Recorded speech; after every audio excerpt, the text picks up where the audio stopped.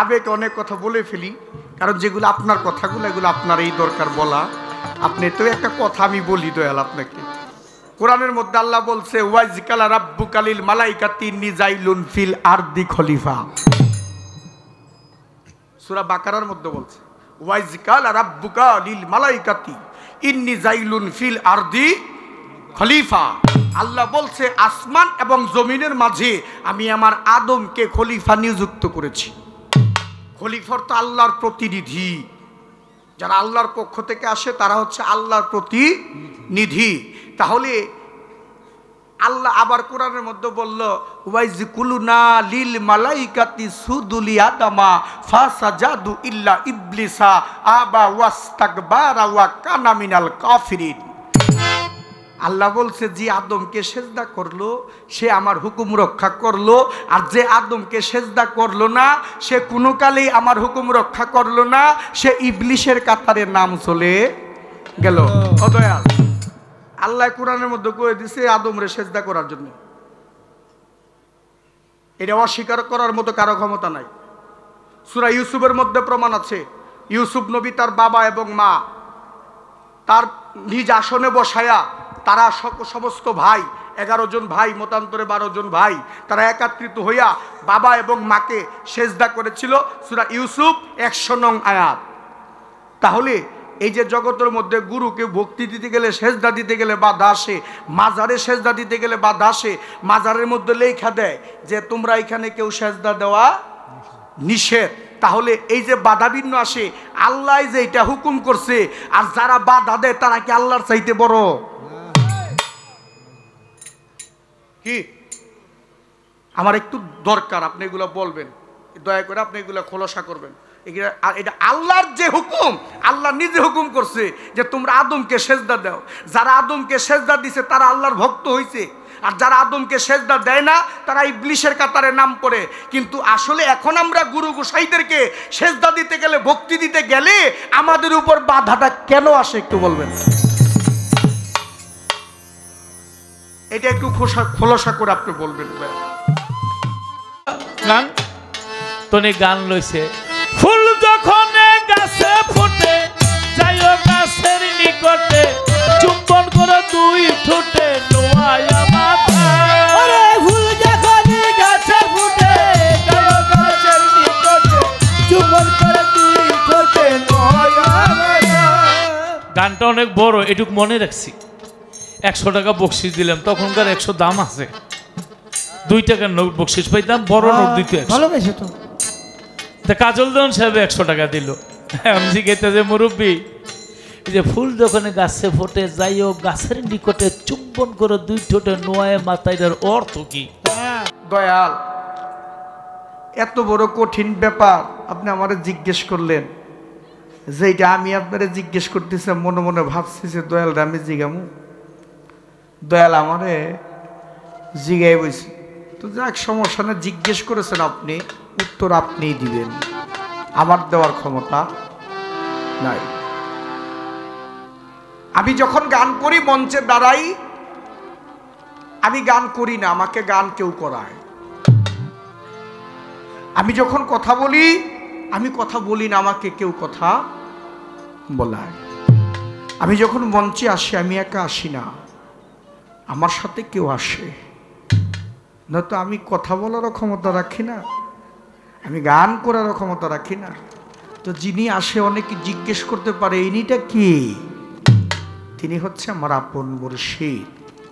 যদি কারও মুর্শিদ যদি কারও সাথী থাকে, কারও নায়ের কান্ডারি হয়, নায়ের তরি যদি কোনো মুর্শিদের উপরে ভক্তি ছেড়ে দিতে পারে, ওই তরি কোনো কালেই বিপদে পড়তে পারে।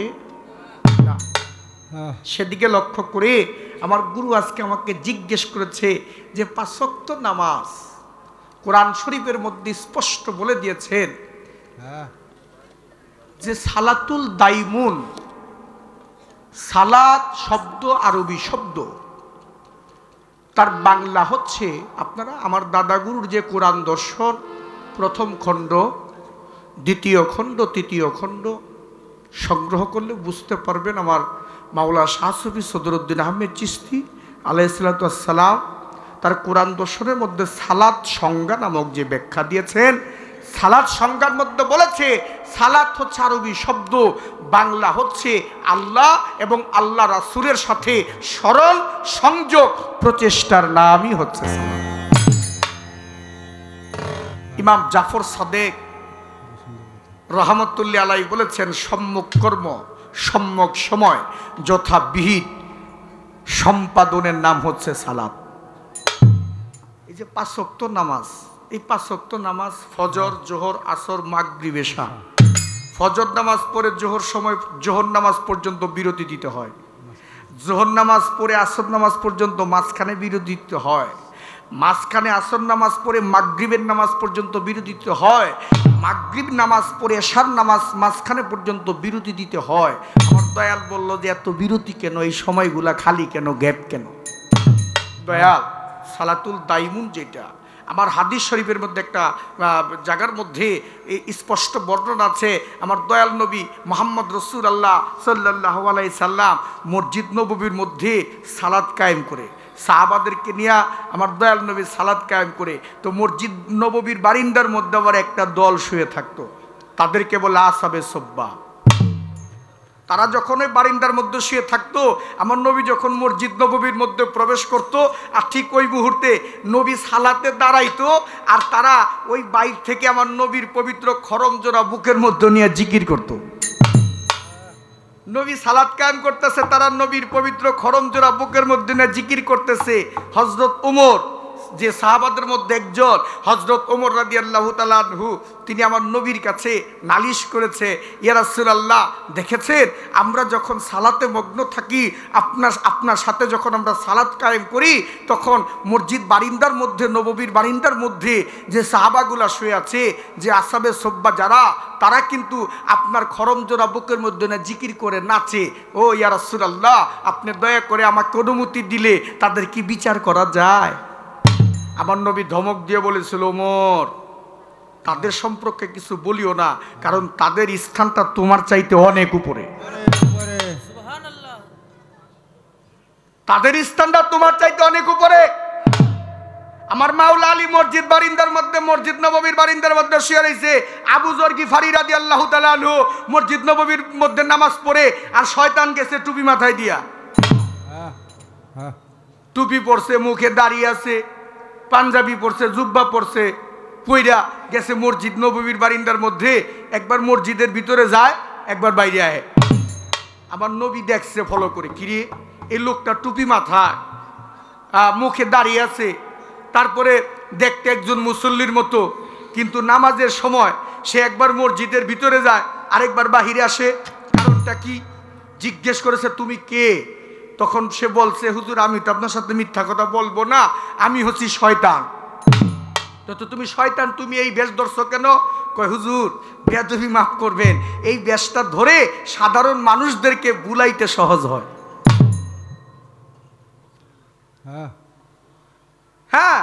বলছে এই ব্যাসটা ধরলে সাধারণ মানুষ তাদেরকে একটু ভুলাইতে সহজ হয় কারণ সাধারণ মানুষ এই ব্যাসটার উপরে দুর্বল বেশি।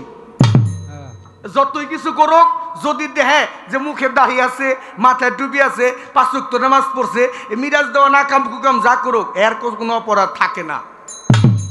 তো তুমি মসজিদ, বারিন্দার মসজিদের ভিতরে যাও, একবার বাইরে হও, কারণটা কি?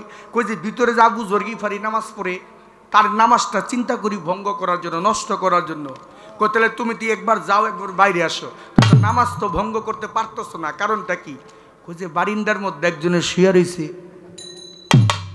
তো তো বারিন্দার মধ্যে শুয়ে রয়েছে মাওলা আলী। তো যেই ব্যক্তি ঘুমায় রয়েছে সেই ব্যক্তি জন্য তুমি জাগনা মানুষে যে ব্যক্তি নামাজ পড়তেছে ওই ব্যক্তির নামাজ নষ্ট করতে পারতেছ না। কারণটা কি? কয় রাসুল্লাহ তো ঘুমায় না ঘুমায় ঘুমায় দেখে। হ্যাঁ। কয় মাওলা আলী তো ঘুমাসে না ঘুমায় ঘুমায়ও দেখে। বাইরে সালাতুল তাইমুন যারা করে কুটিতে গুটি সবার জন্য সালাতুল দাইমুন না। আর অরিজিনালেন সালাতই হচ্ছে সালাতুল দাইমুন, যেটা সার্বক্ষণিক সালাত।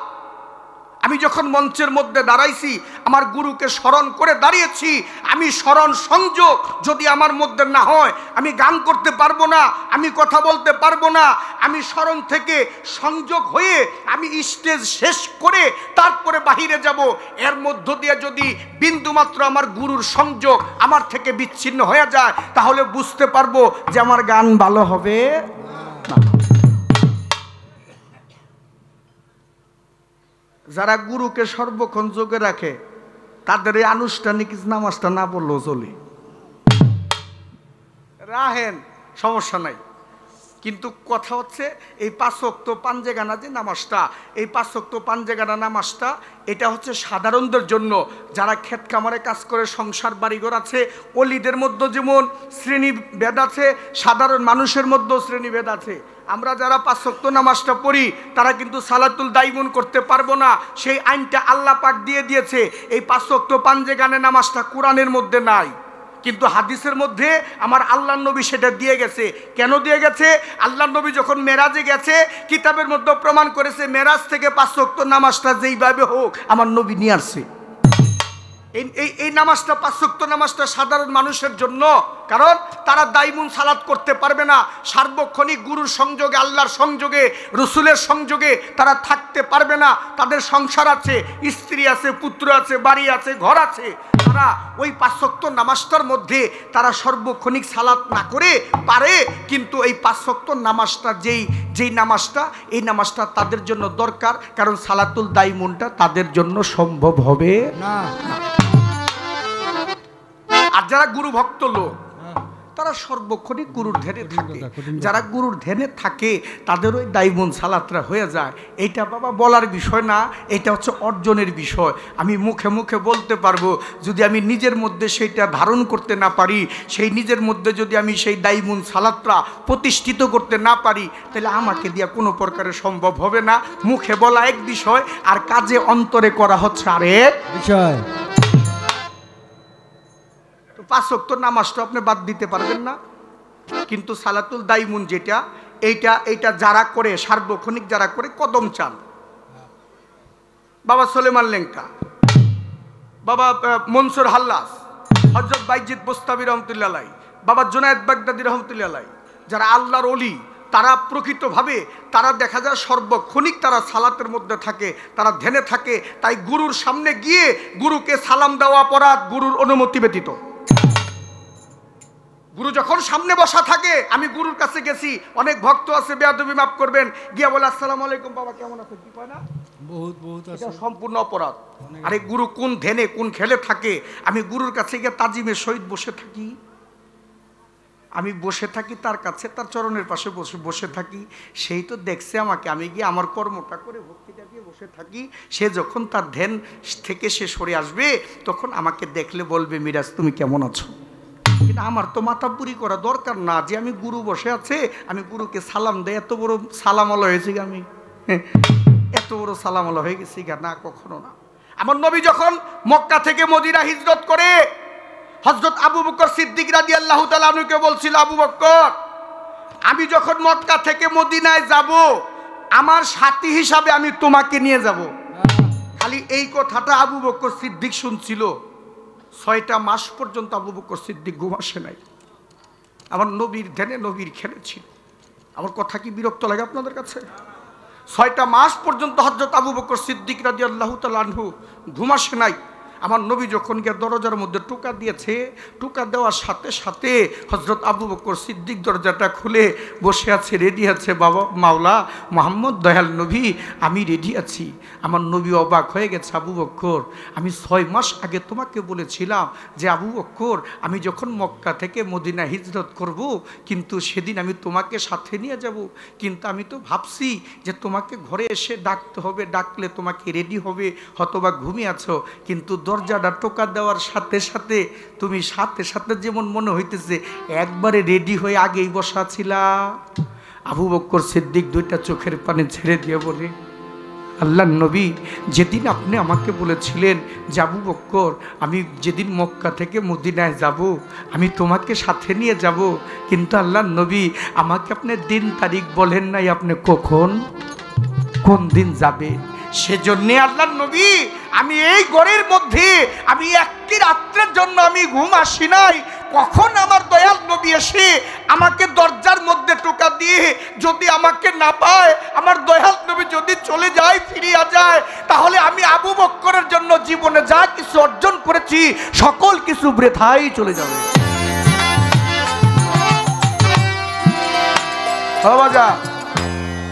আবু বকর সিদ্দিক একটানা ছয় মার্চে আমার নবীর স্মরণের সংযোগ ছিল হজরত আবু বকর সিদ্দিকের সালাদ কি হয় নাই?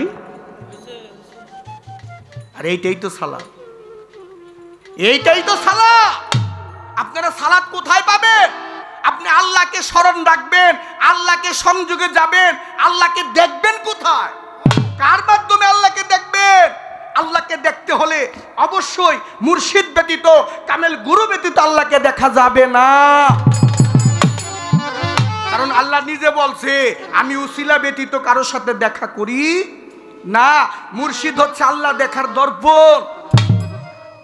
মুর্শিদের মাধ্যমে আল্লাহকে দেখা যায়। আমার নবীকে যখন মাওলা আলী, উসমান গনি হজরত উমর হজরত আবু বকর সিদ্দিক জিজ্ঞেস করেছিল মেরাজ থেকে আসার পরে ইয়ারাসুল্লাহ আপনি দয়া করে বলবেন কি?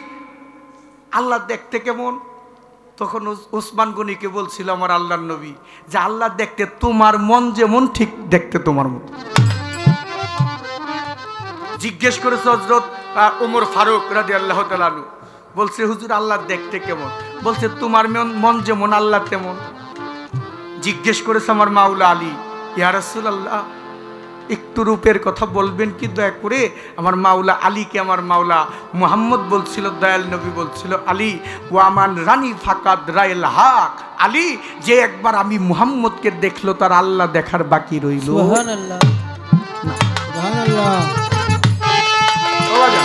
তাই সালাদ সংযোগ যদি আমার ক্যাবলা ঠিক না থাকে আমি সালাদ হইব যদি আমার স্মরণ সংযোগটা করব কোথায় থেকে? যে মোমের বাতিটা। এই যে বাতিটার মধ্যে যদি আমি দৃষ্টি করি তাহলে আমার বাতিটা বুঝতে হবে এই- এই বাতিটার আমার স্মরণটা হবে, স্মরণে আমার সংযোগ হয়ে থাক না দয়াল যদি উপস্থিত না থাকে তাহলে আমি কাকে স্মরণ সংযোগে যাব আমার রূপ ছাড়া কি কোনো সংযোগ হবে কোন জীবনের সংযোগ যে রূপ ছাড়া সংযোগ হয় হ্যাঁ। আল্লাহ নিরাকার যদি আল্লাহকে দেখাই না যায় তাহলে আমি কা- কার ছাড়া থাকব যদি আল্লাহকে দেখা না যায় আল্লাহ তো কোরআনের মধ্যে বলবে ওয়ালিল্লাহি আল-মাশরিকু ওয়াল মাগরিবু ফাইয়া নামা তুয়াল্লু ফাসাম্মা ওয়াজুল্লাহু আল্লাহ বলছে তোমরা যেদিকে তাকাও পূর্ব পশ্চিম উত্তর দক্ষিণ তোমরা উপরে নিচে যেদিকে তাকাও আমার চেহারা তাহলে আল্লাহর চেহারা আছে, আল্লাহ বইলা দিছে কোরআনের মধ্যে, ওয়াজু ওয়াজু মানে চেহারা, ওয়াজু আল্লাহ মানে আল্লাহর চেহারা। তাহলে আল্লাহর চেহারা যদি থাকে, তাহলে অবশ্যই আমার দেখতে হবে। তাহলে আল্লাহর চেহারা কার মাধ্যমে? আজকে যে মুর্শিদ পেয়েছি, যে গুরু পেয়েছি, গুরুর মাধ্যমে আমি সেই তাকে দেখতে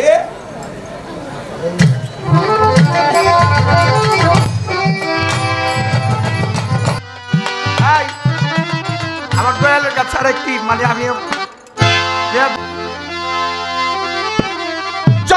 রসিক যারা পার হয় তারা।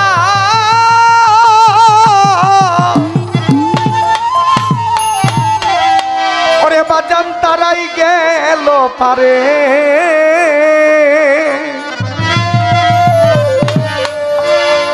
ওরে রসিক যারা, ওরে পার হয় তারা, তারাই গেল পারে। আমি কর্ম দোষে পড়ে আছি। ভব নদীর বাক্যে দয়াল কর্ম দোষে পড়ে আছি। এই ভব নদীর বাঁকে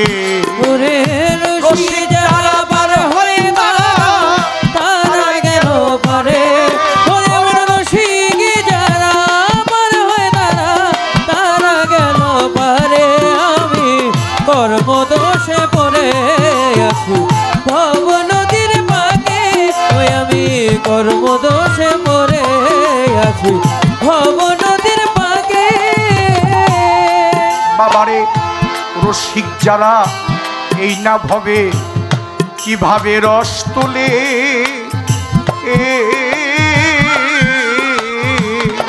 দয়াল কই রসে মন হই গো রসিক, পাবো কোন সাধনে? রসিক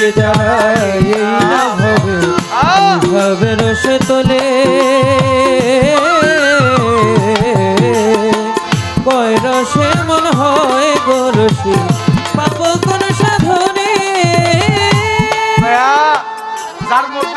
আছে তারে রসিক বলে। রস ছাড়া কখনো রসিক হয় না। যেদিন তুমি এসেছিলে ভবে, হেসেছিলে, কেঁদেছিলে তুমি, হেসেছিল সবে। আবার এমন একটি জীবন তুমি করিবে গঠন, যাবার বেলায় হাসিবে তুমি, কাঁদিবে ভুবন। আমার গোসাই পাগলার জন্য আমরা সবাই কাঁদি।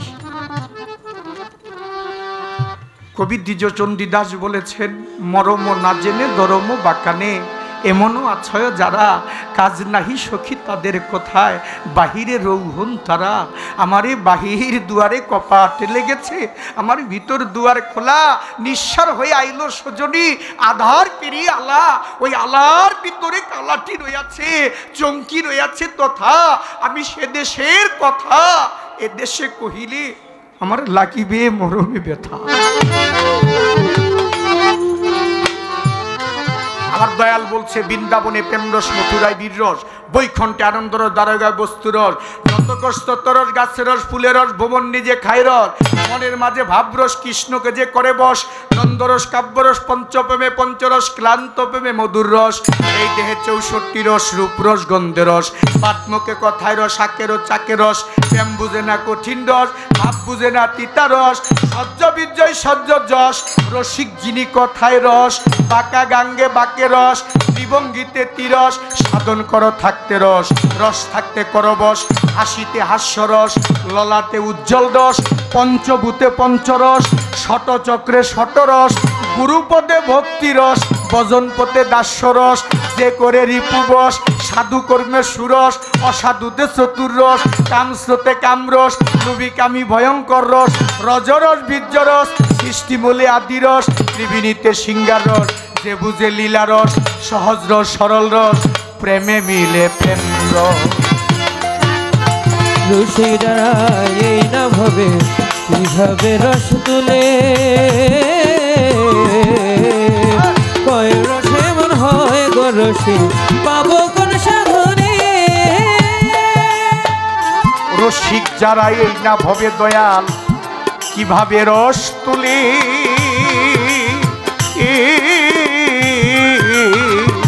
করে বান্ধ কয় রসে মন হয় গো রসি পাবো কোন সাধনে। তুমি রসের তত্ত্ব করো ব্যক্ত রসের ভাণ্ড খোলে রসে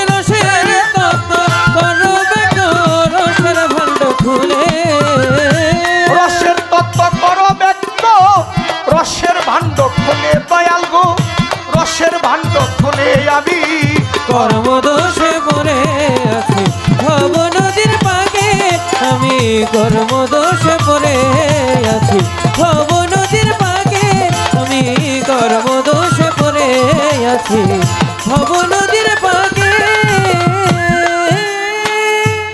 দেহ শ্রী বৃন্দাবনে? চৌরাশি ক্রোশ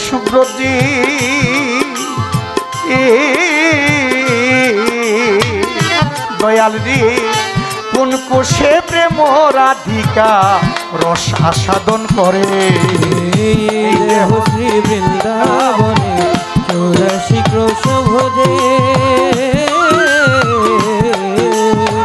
কোন রসেতে প্রেম রাধিকা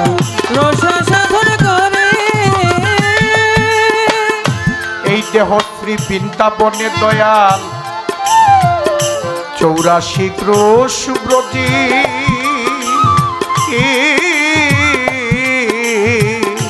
দয়াল রে কোন কোষে প্রেম রাধিকা? রস আস্বাদন করে। আবার কোন বা কোষে বিন্দে বসে রস তৈরি করে।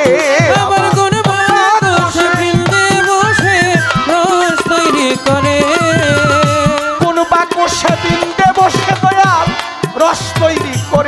ও দয়াল রস তৈরি করে আমি। কর্মদোষে মরে আছি ভব নদীর পাকে। ওরে রসিক যারা পার হয় তারা তারা গেল পারে। মনে রসিক যারা পার হয় তারা তারা গেল পারে। কর্মদোষে পড়ে আছি ভব নদীর পাকে। আমি কর্মদোষে পড়ে আছি ভব নদীর পাকে শিখে নৃত্য করে ওই মধুর বৃন্দাবনে।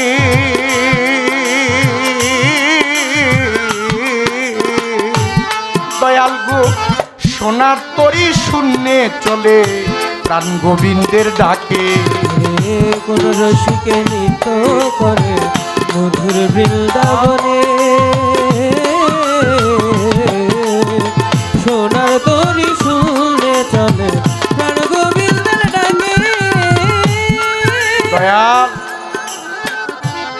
রসিকে নৃত্য করে এই মধুর বৃন্দাবনে।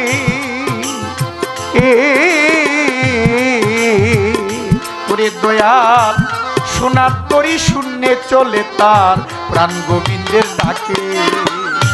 রস্তত্ব না বুঝিয়া দয়াল, আজি জুলে ফেরে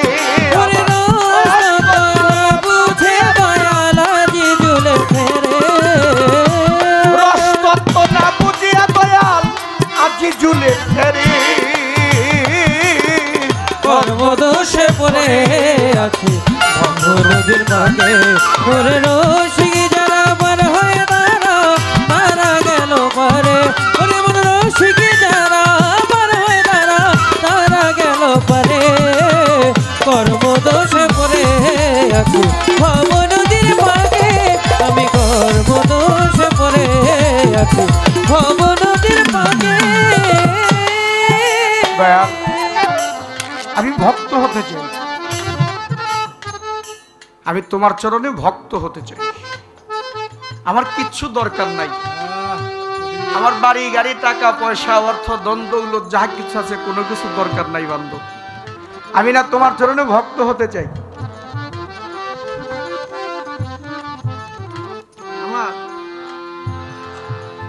যদি ভক্তের কাতারে যারা আছে, যদি দেখতে চাই, আমার নবী মোহাম্মদ রসুল আল্লাহ সাল্লাহ আলাইসাল্লাম সাহাবা ছিল। তার নাম ছিল হজরত খাব্বাব রাদিয়াল্লাহু তালা আনহু। বাউল গানটা এমন একটি গান। এই গানটা সর্বদাই যুগে থাকতে হয়। আমি পারি না থাকতে। এই যে আজকে যারা সাধুগুরুরা বসা আছে, প্রত্যেকের মধ্যেই বুচাই পাগলাকে দেখা যায়।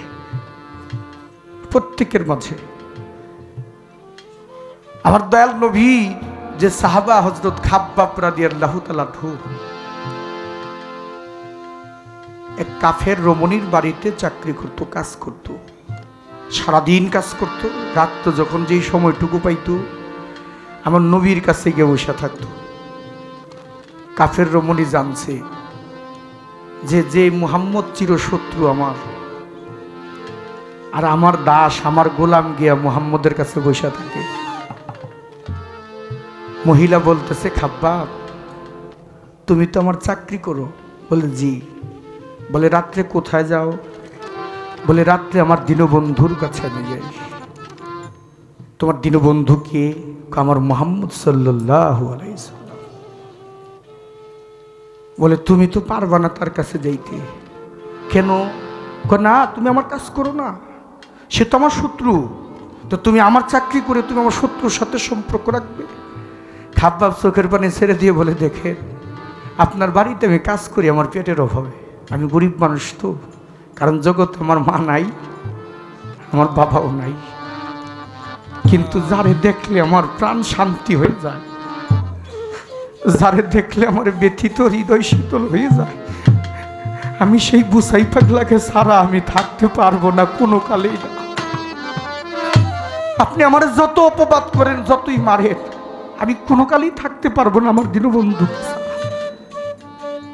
খাপ বাপরে ধৈরা ইচ্ছা মতো মারছে চাবুকের আঘাত করেছে। আমার দয়াল নবীকে খাপ বাপ, এত মায়ের খাও। তো তুমি আমাকে ভুলে যেতে পারো না। এত কষ্ট পাও তুমি। বান্ধব, আমি আপনারে ভুলে গেলে আমি কি থাকব?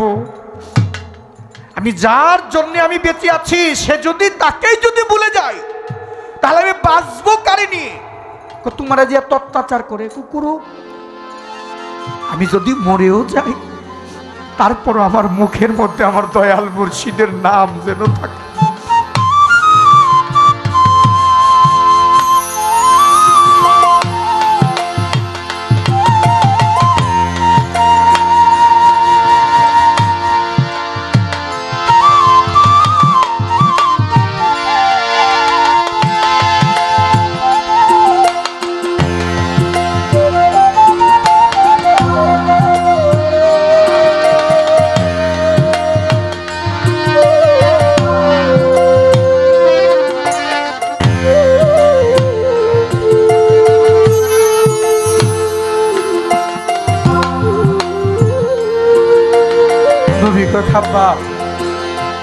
তুমি আমার এত ভালোবাসো। আজকে খাব্বাব গেছে মালিকের বাড়িতে। খাব্বাব জানতো না খাব্বাপের জন্য একটা লোহার জামা বানায় রাখছে। জামাটা খাব্বাপের গায়ে পরায়া। মরুভূমি বালু আছে না, আরব মৈদেশ তো বালু মৈদেশ। এই জামাটা পরায়া খাব্বাপরে হাত, পাও বাঁধছে। বান দিয়া মরুভূমির প্রান্তরে ফেলে রেখে এসছে। রোদ্রের তাপে বালু গরম হয়, লোহা গরম হয়।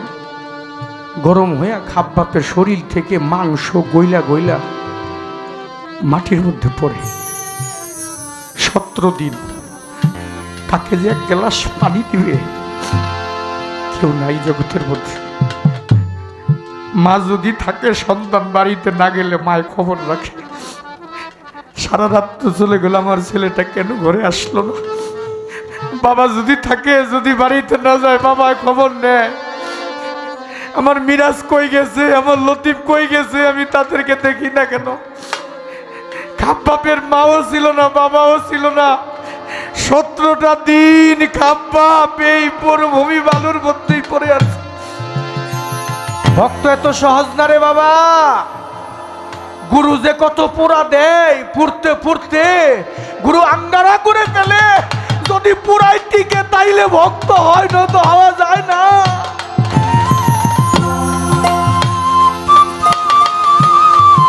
সতেরোটা দিন খাপ্পা পড়ে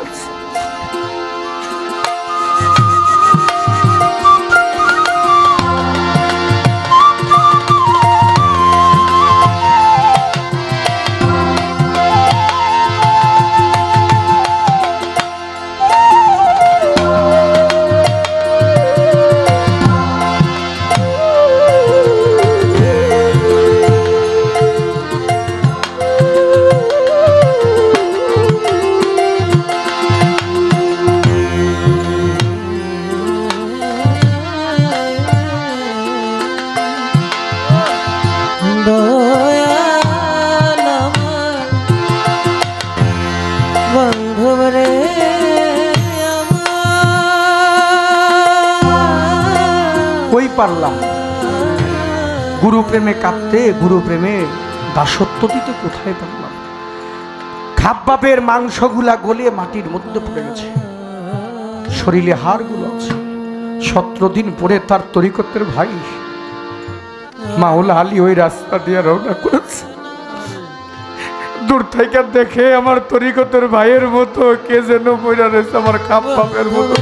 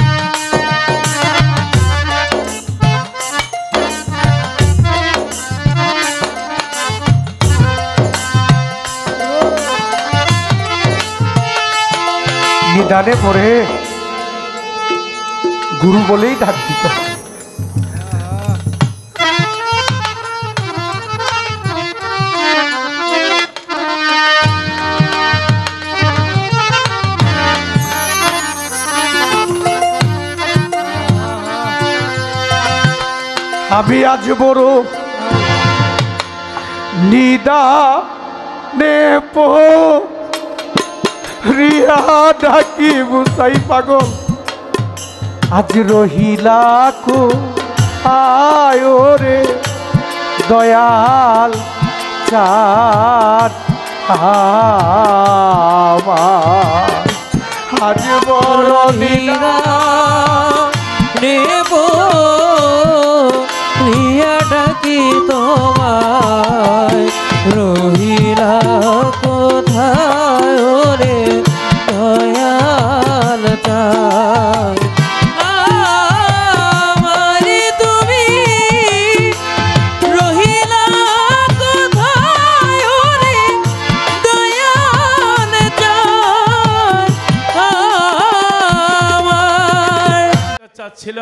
চাচ্ছিলাম ভক্তর ভক্তির জোরে একটা প্রেমের ভাবের সঞ্চার হয়েছে। আর পিছনে মুরব্বীরা কত সাধু বাবারা দেখলেই ভালো লাগে। আপনারা একটু সামনে আসতে আরও বেশি এই বাম পাশে যদি আসতেন সরাসরি আরও ভালো লাগতো কাছে। যাই হোক আসলে বাউল গানটা হলো একটা শিক্ষণীয় গান। ব্যান্ডের পপ অনেক পদের গান আছে যে গানের মধ্যে ফালা ফালি নাচানাচি আর বাউল গানের মধ্যে আল্লাহর কথা নবীর কথা পীরের কথা মুর্শিদের কথা ধর্মের কথা সমাজের কথা বলা যায়। কিছু লাগবো না। আপনি বেহেস্তের টিকিট চান? এটাই তো মানুষ বেশি চায় নাকি? বেহেস্তের টিকিট। আজ থেকে প্রতিজ্ঞা করেন জীবনে মিথ্যা কথা বলব না। সকল পাপের বাপ হলো মিথ্যা মিথ্যা কথা। যার মা বাবা দুনিয়াতে আছে যার দা হারায় ফেলাইছে আমার মতো। প্রতিদিন মা বাবার কবরের পাশে গিয়ে একবার খালি বলেন রাব্বির হাম হুমা কামা। রাব্বায়ান সাগিরা। আর সন্তানের দোয়ার কারণে মা বাবার কবরের আজাব আল্লাহ বলে আমি মাফ করে দিই। আবার মা বাবা যদি সন্তানের জন্য দোয়া করে, আল্লাহ বলে, আমি সেই দোয়া সবার আগে কবুল করি। আফ্রিকার এক খাদেম, যে বর্তমানে মক্কার ঘরে খাদেম, ছোট থাকতে খুব দুষ্ট ছিল। মায়েরে খালি জ্বালাইতো, আর খালি কইতো, মা, তুমি কি আমার সাথে রাগ করো? মা বলে, মা কোনোদিন সন্তানের সাথে রাগ করে না। আমি তোমার দোয়া করলাম তুমি একদিন মক্কার ঘরের খাদে মুইবা।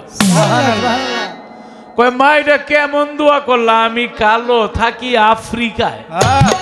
কাবা ঘরের খাদেম সহজ কথা। মায় কয় আমি দোয়া করছি হয়ে যাবে আই হাই রে।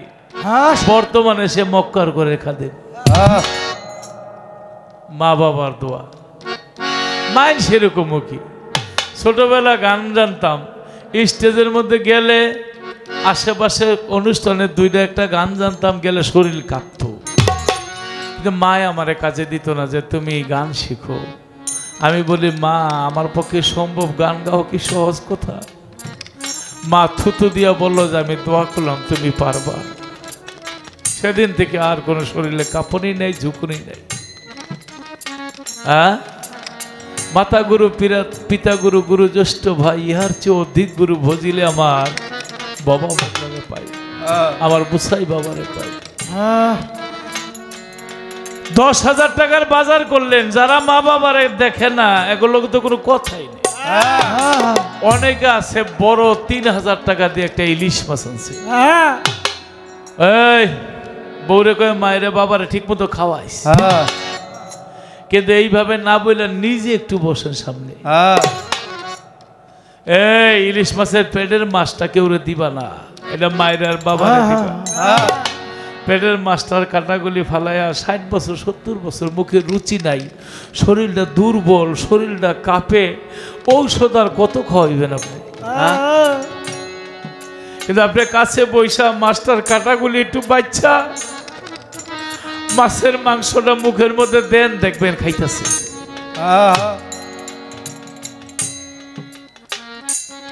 মাংস খাইতে পারে না দাঁত নাই। বৌরে বলেন যে হাড্ডি থেকে খুললা খুললা খুললা খুললা। মাংসটা টিবায়া টিবায়া নরম করে মা বাবার মুখে দেন দেখবেন খাইতেছে। খায় না ওই হাড্ডি থেকে ছিঁড়তেও পারে না দাদা সবাই তো পারে না খায় না। খাবারের একটা ব্যবস্থা করে দেয় আপেলান্সের খায় না? আয়া আপেলটা একটু ব্লান্ডার করে। এনে দুইটা পুদিনা পাতা দেন দুইটা ধনিয়া পাতা দেন। একটা কাঁচামরিচ দেন। একটু বিট লবণ দেন। হয় ছেচ্চা অথবা ব্লান্ডার করে বাবা, ও মা, একটু খাও। না, খাব না। একটু খাও। তখন ছেলের মনের দিকে চাইতে গিয়া জিব্বালা বার করে দেয়। তখন জিব্বালা বার করে দিলে একটু পুদিনা পাতার গ্রান্ড পায় একটু ধনিয়া পাতার গ্রান্ড পায় একটু টক টক লাগে আবার একটু মিষ্টি মিষ্টিও লাগে। দেখবেন খাইতে খাইতে পেটটা বুঝে গেছে। যখন পেটটা বুঝে গেছে দুই হাত তুলে আল্লাহর দরবারে বলে আল্লাহ তুমি আমার সন্তানকে জান্নাতবাসী করে দাও। আল্লাহ বলে সবার আগে আমি ওই মা বাবার দোয়া কবুল করি। শুধু কি তাই? আপনি যে আপনার বৃদ্ধা মা বাবারে খাওয়াইতেছেন আপনার ছেলে মেয়ে দেখতেছে আমার বাবায় দাদারে আর দাদিরে কত আদর করতেছে কত যত্ন কইরা গুলে লয়ে গোসল করে খাওয়াইতেছে। এই ছেলে মেয়ে একদিন আপনারও হয় গিবেন টেক যেমন দিবেন ওইরকম পাইবেন। ওরে মিরাজ ভাই এর চাইতে রস আর কি আছে? যে মুখে রুচি নাই শরীরটা থর থর করে কাঁপে। সেই সন্তান যদি মা বাবারে কুলের মধ্যে নিয়ে এইভাবে টিপ্পা টিপ্পা খাওয়ায় দেয় আল্লাহ বলে ওই খাবার আমি স্বয়ং আল্লাহ রে খাওয়াই। আপনার জন্য বেহেস্তের টিকিট আল্লাহ মা বাবার দোয়ায়। আর বেহেস্ত একটা কি? বেহেস্তের জন্য যাওয়ার পাগল আর কিছু কিছু মানুষের জন্য বেহেস্ত আসার পাগল। আর গুরুপদের রস গুরু ভক্ত প্রেমিক যারা এরা শব্দ স্পর্শ রূপ রস গন্ধ তাই না? এই পঞ্চটি রস। আচ্ছা আমার মধ্যে কি নবী নাই? লাকাত জাকুম রাসুলে মিনান ফুসিকু তো নবীর রসটা আমার ভিতরে আছে না? আমি আগেই বলছিলাম একটা ইশারা দিয়ে গেছিলাম অকটেন দিয়ে লতিফ সরকার মিরাজুল পেট্রোল আছে মোবিল আছে ডিজেল আছে ব্রেক ওয়েল আছে সব তো আর কওয়া যাবে না তো ক্যামেরা।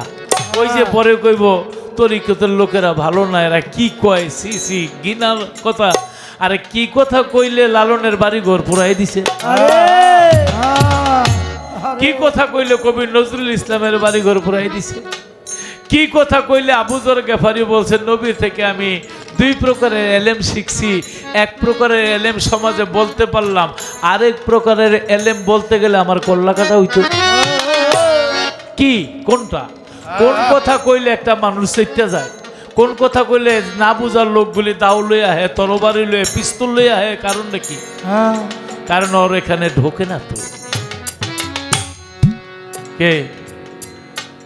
তাহলে আমার মধ্যে আমার নবীর প্রেম আমার মধ্যে আল্লাহ নাই। প্রতি ঘটে আছে খোদা কোনো ঘটনায় খালি কোন ঘটে বিকশিত কোন ঘটে চাপা মায়ের নীর আমার ভিতরে আছে না? আছে। বস্ত বস্ত লৌ বসম মায়ের নীর আছে না? তো বাবার রস আছে না? আছে।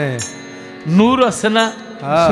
কি হার রোগ মনি মগজ। মায়ের হইল নীর আর বাবার হইল নূর। এই নূরের মধ্যে আছে স্বয়ং পীর। বাবার নূর মায়ের নীর। এই নীরের মধ্যে আছে পীর এই পীরের মধ্যে আছে ক্ষীর। এখন যদি কইতে যাই ক্যামেরাগুলি সব বন্ধ করে দিলে তারপরে বলতে পারতাম একজন দুইজন তিনজন হইলে তার বলা যায় না। আবার বলা যায় না বলার মতো মানুষ থাকলে বাকিও থাকে না। থাকে না। আপনি ল্যাবরেটরিতে জানতো হ্যাঁ। এই যে ঔষধ বানায় সাপের বিষ কেউ কোনো দিন দেহের মধ্যে খাইব নিব? তো দাঁতের এই সাপের বিষ দিয়া তিমি মাছের পেড়া যেটা আমরা চিনি না মইরা গেছে গা ফালাই দে। ওগুলি পৃথিবীর মধ্যে কোটি কোটি কোটি কোটি কোটি কোটি টাকা দাম। যেইটা দিয়া মানুষকে অজ্ঞান করায় হ্যাঁ? যেইটা দিয়া মানুষের অপারেশন করায় যেটা দিয়া মানুষের ক্যান্সারের ওষুধ দেয় ক্যান্সারের ওষুধকে আপেল দিয়া দেয়? দুধ দিয়া দেয় গিয়া দেখেন না যোগ কেসা পোকা মাকড় দিয়া কত ওষুধ হইতেছে। হ্যাঁ। মদ খায় না কে? এমন কোন মানুষ আছে মদ খায় না? কথা বুঝালেন ক্যামেরাম্যানরা ঠিক করে তা নইলে কিন্তু এই চ্যানেল পরে আর কোনোদিন আইতে দিব না। এই যে সিরাপ যত পদের আছে মদ হলে অ্যালকোহল দিয়ে তৈরি করে। হ্যাঁ। এমন কোন সিরাপ আছে যে সিরাপের মধ্যে অ্যালকোহলটা নাই? হ্যাঁ। এটা মায় খায় বাবা খায় মৌলবী মাওলানা সবাই তো খায়। হ্যাঁ। তবে খা না খাইতেও কইছে নাও করছে। হ্যাঁ। পানির অপর নাম জীবন। একটা মানুষের বিশ কেজি পানি খাওয়াই দেন জোর করে। ছয় দল। তাহলে মানুষটা মারা যাবে। মধু খাওয়া সুন্নত। হ্যাঁ। দুই কেজি খাওয়াই দেন না সুন্নত কারে কয়? হাত ফেটে তাই মিরাজ ভাই রে খাওয়াইতে হবে খাইতে হবে। পঞ্চরস কীভাবে খাইতে হয় কীভাবে খাওয়াইতে হয়? একটা পঞ্চরসের গান ধর পাঞ্চু আয় না জল ওঠে না মুসাই বাবার না পাঞ্চু আয় না জল না সাধু জনার না ও চলো বালকু বাবার না আয় বালকু চলো তেলা সাধু জনার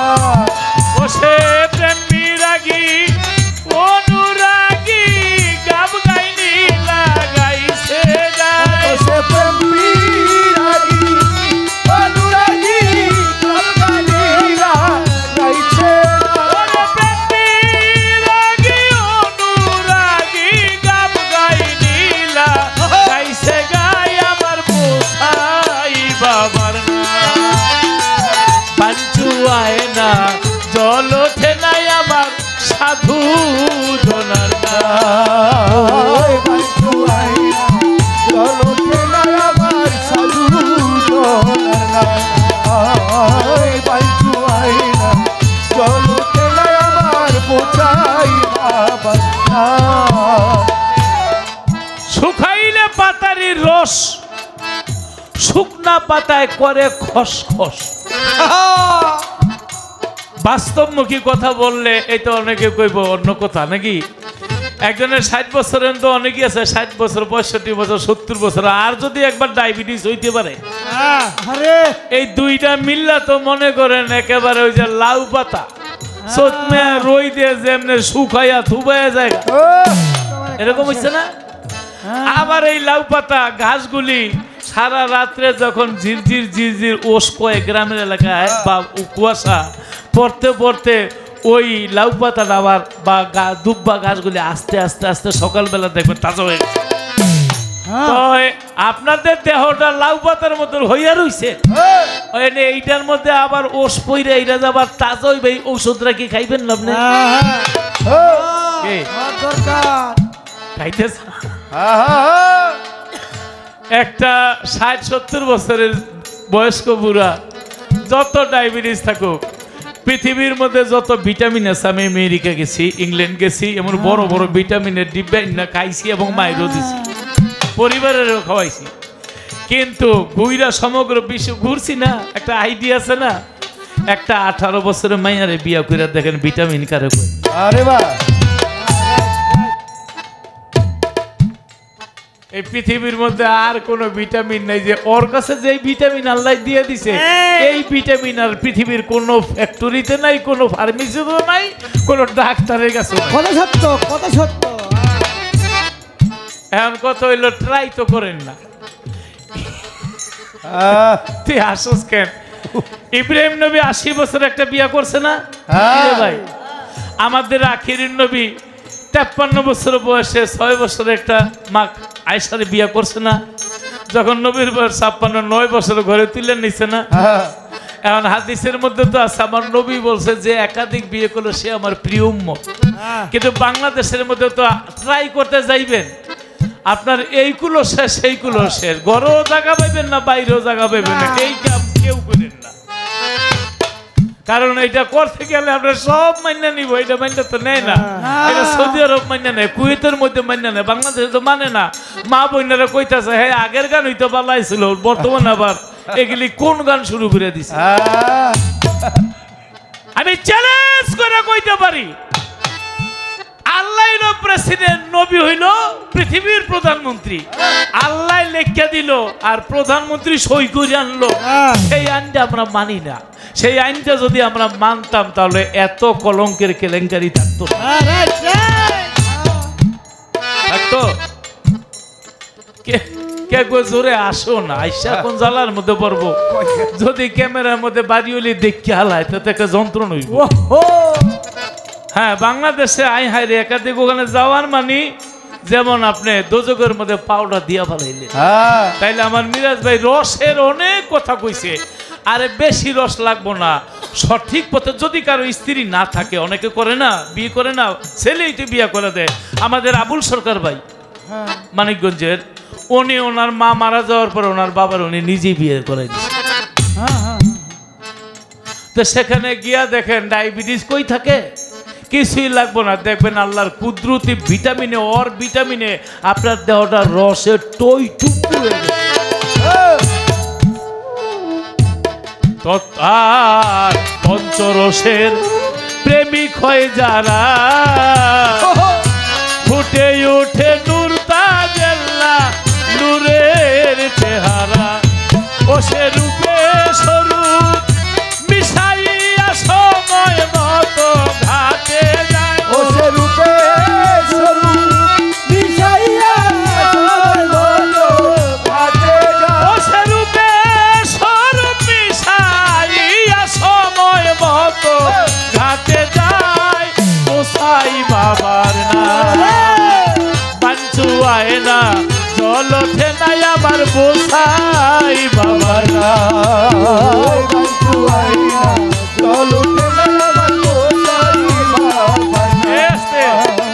আর গুরু তত্ত্বে যদি বলি, গুরুর জিব্বার লিঙ্গ হতে, ভক্তের কর্ণ জুনিতে করিতে হবে যাহা বীজের উপর সেইখানেও ছেলে মেয়ে হয়। সেখানে রুহানিয়া ছেলে মেয়ে হয়, কি হয়? জ্ঞান মন গুরুর বাক্য ওই যে ছয় মাসের কন্যা ছিল নয় মাসে গর্ব হইল এগারো মাসে তিনটা সন্তান। কোনটা করবে ফকিরি? জ্ঞান করবে ফকিরি। তাহলে গুরুর জিব্বা ভক্তের কর্ণ। ওরে গুরুর জিব্বা লিঙ্গ হতে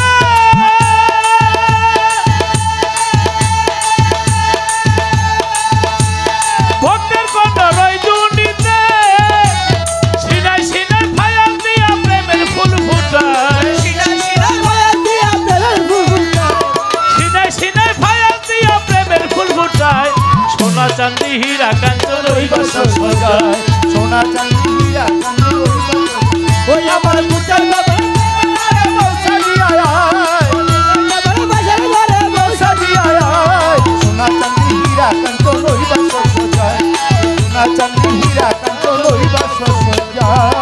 আমার বসাই বাবার বাসর ঘরে বউ সাজিয়ায় সোনা চান্দি হীরা কাঞ্চন ওই বাসর সজ্জা।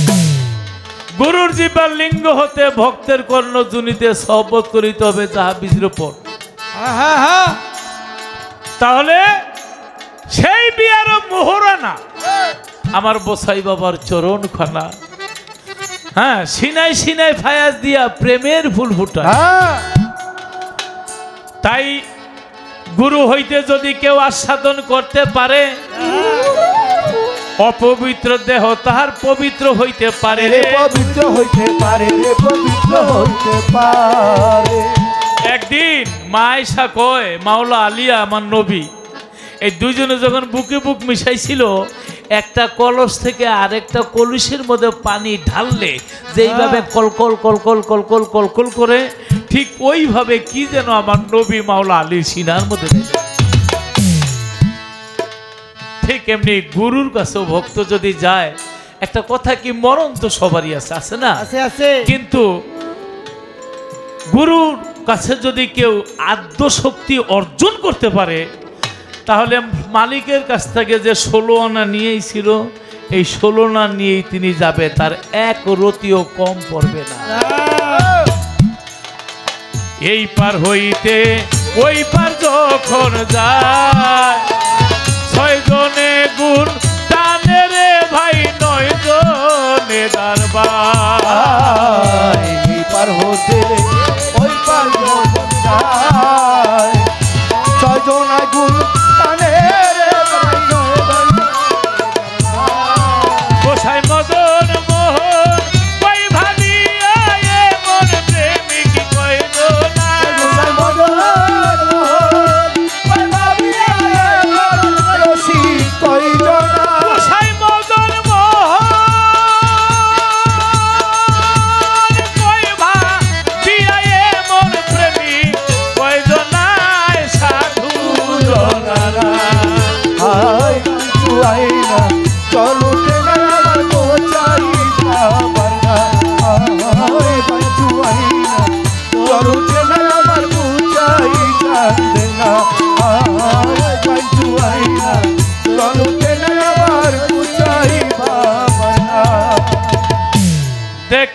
জোড়ায় তাপি তঙ্গ আনন্দে প্রেমে ঢেউ খেলায় দেখলে জোড়ায় তাপি তঙ্গ আনন্দে প্রেম ঢেউ খেলায় দেখলে তঙ্গ আনন্দ প্রান্তে উঠেলায় দেখলে জুড়াই রাতি তঙ্গ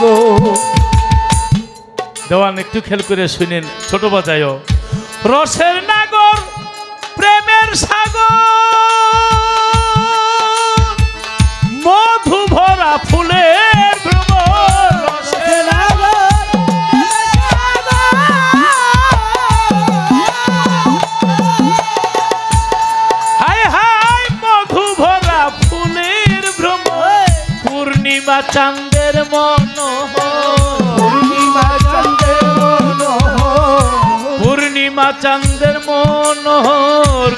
অঙ্গে দোল খেলা। দেখলে দূরে চাপি তঙ্গ দেখলে দূরে চাপি তঙ্গ। আনন্দে প্রেমে ঢেউ খেলা দেখলে জুড়াই রাতি তঙ্গ আনন্দ মধ্যে উঠেলায় দেখলে জুড়াই রাতি তঙ্গ। দেখলে জুড়ে তাপি আনন্দে প্রেম ঢেউ খেলা আচ্ছা প্রথম রসের নাগর প্রেমের সাগর। মধু ভরা ফুলের ভ্রমর পূর্ণিমা চাঁদের মনোহর। আচ্ছা দেহের মধ্যে পূর্ণিমা হয় কখন? অমাবস্যা হয় কখন? এক থেকে দশ এই দশ এগারো বারো এখান থেকে পূর্ণিমা শুরু হয়? ফুটে যে ফুল ত্রিধারাতে লাল কালো সাদা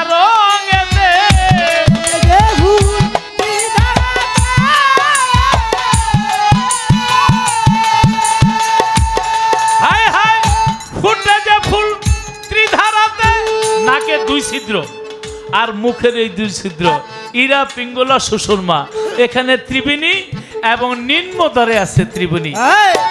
ফুটে যে ফুল ত্রিধারাতে লাল কালো সাদা রঙেতে লালে বিশুক কালেতে সুখ লালে বিশু কালে তেসু লালে বিশুক কালেতে সুখ সাদা রঙে মন মজায়। দেখলে দূরে চাপি তোমার এখানে অনেক সাধুগুরু আছেন আপনাদের চরণে আমার ভক্তি। অনেক তরিকার ভাই বোনেরা আছে একটা সাধনা আমি গান গাই যে তো ভান্ডারির গোলাম। অনেকে আমার সাথে যোগাযোগ করে টেলিফোনে বাস্তবে। আমি দেখলাম এর মধ্যে যদি একশো জনে যোগাযোগ করছে পাঁচশো জনে যোগাযোগ করছে এক হাজার জনে যোগাযোগ করছে তারা এক থেকে তিন তারিখের মধ্যে কামটা সেরে হালায়। না এক থেকে এক, দুই, তিন, চার, পাঁচ, ছয়, সাত। কোরআন শরীফের মধ্যে আছে, সাত দিন ওই ঘাটে যাওয়াই নিষেধ। তাই ফুটে যে ফুলত্রি ধারাতে লাল, কালো, সাদা রঙেতে তিন রং। লালে বিশুক কালেতে শোক। বিশুক মানে লালের মধ্যে শোক বিশুক যা হয়, যেটা গ্রাম্য ভাষায় বলে, লালে বিশুক কালেতে সুখ এই শোকের মধ্যে যাওয়া যাবে না। অসুখ বিসুখে যাওয়া যাবে না। তাহলে সাত দিনের পরে আসবে অষ্টমী অষ্টমীর পর হইল নবমী নবমীর পর হইল দশমী দশ এদশ দ্বাদশ দশ এগারো বারো এই তিনের মধ্যে আসে ওই লাল কালো ছায়া গিয়া সাদা রঙে।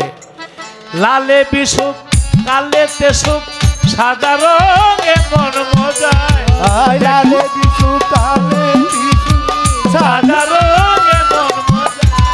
দেখলে জুড়ায় তাপি তঙ্গ।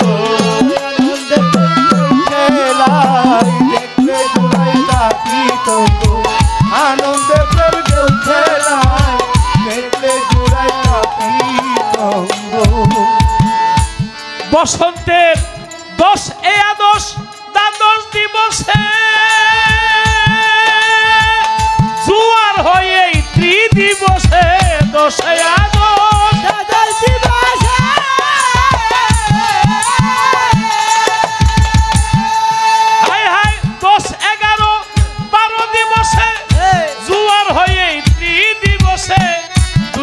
ঠোঁটে অমৃত রসে।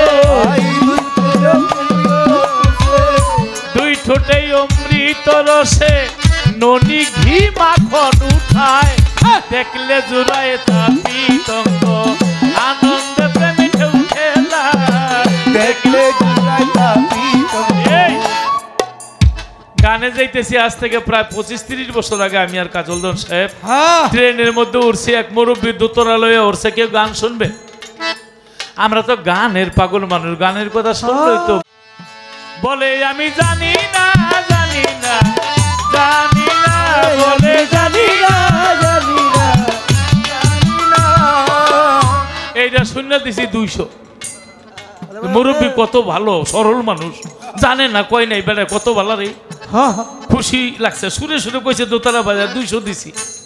ট্রেন থেকে নামার সময় অন্ধ তো কয় জানলে কমু না কমু জানলে কবু না কবু না কবু না এই মুরব্বী দাঁড়ান এ কইতে কইতে ট্রেন দিছে? সেদিন থেকে খুঁজতেছি জানে কয় না কইলে পায় না। তে আমি তরিকার জগতে আমার মইনুদ্দিন আল মাঝ ভান্ডারি রহমতুল্লাহ বাবার কাছে গেছি সাধুদের সঙ্গ নিয়েছি তাই আসলে কি যে জানে সে কয় না। যে কয় সে পায় না বলা তো যায়। কিন্তু বলতে গেলে ওই যে প্রথম আসলে কইছিল এত কলঙ্ক কেন? এই গানের অর্থ ভাব দ্বারা যে বুঝব না। হ্যাঁ কব বেদাত কি রবীন্দ্রনাথ! তার বাড়িতে কবি নজরুল গেছে। দেখেন নিম পাতা বাইটটা শরবত বানায় খায়। কবিগুরু কয় কি খান? কবি নজরুল বলে কবিগুরুকে বলে আমি অমৃত খাই। কয় আমি একটু খাই মুখে দিয়া দে তিতা। কয় এইটা অমৃত হয় কেমনে? কয় তোমার কাছে তিতা আমার কাছে মিঠা। বসন্তের দশে দশ দ্বাদশ দিবসে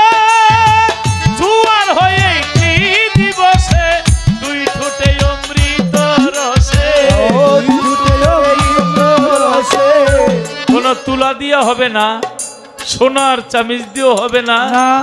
এখানে কি? দুই ঠোঁটে অমৃত রসে। এই দুটো অমৃত রসে।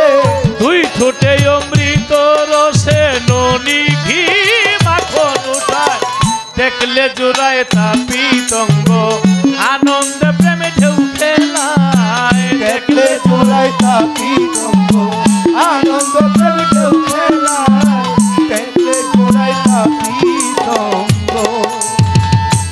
সভাপতি সাহেব অনেকের স্মার্ট মোবাইল আছে। আল্লাহ দিছে কি আমরা পাইছি কি? আল্লাহ কয় কি আমরা করি কি? যেমন সুরা ইব্রাহিমের চব্বিশ নম্বর আয়তের মধ্যে বলেছে কালেমা হইল একটা সাজরাতুল বৃক্ষ। ইহার শিকড় সাত জমিনের নিচে। ইহার ডালপালা সাত আসমানের উপরে। একটা আসমান থেকে আরেকটা আসমানে যাইতে পাঁচশত বছর দূরের রাস্তা। তাহলে সাতটা আসমান পার হয়ে গিয়ে কলেমার ডালপালা আমরা তো ছোটবেলাতে পড়ছি লা ইলাহা ইল্লাল্লাহ মোহাম্মদ রাসূল এটুকুই তো জানি। এটা হলো চব্বিশ নাম্বার আয়াতে খোলেন মোবাইল এখনই আপনাদের কাছে আছে মোবাইলের মধ্যে সার্চ দেন সুরা ইব্রাহিম চব্বিশ নাম্বার আয়াত। পঁচিশ নাম্বার আয়াতের মধ্যে বলেছে এই কলেমা মৌসুমি ফল দেয়। মৌসুমি ফল কারে কয়। হ্যাঁ? যেমন এই বর্তমানে খেজুরের রসের সিজন হ্যাঁ। তাই না? আমাদের বিক্রমপুরে গোলালুর সিজন হ্যাঁ। বৈশাখ জ্যৈষ্ঠ মাসে আম কাঁঠাল লিচুর সিজন এখন আমেরিকার মধ্যে কাঁচা আমের সিজন সে একটা কথা দেখায় সৌদি আরবের মধ্যে কাঁচা খেজুরের সিজন হ্যাঁ। ইরানের মধ্যে তরমুজের সিজন তো এই কলেমাটা তো সমগ্র বিশ্ববাসীর জন্য। এখন মৌলবী মুন্সি মাওলানা মুফতি যত আছি আমরা এই কলেমার ফল কয়জনে খাইছি? যদি বলেন খাই নাই তাহলে আল্লাহ দিছে আপনি খাইলেন না কেন?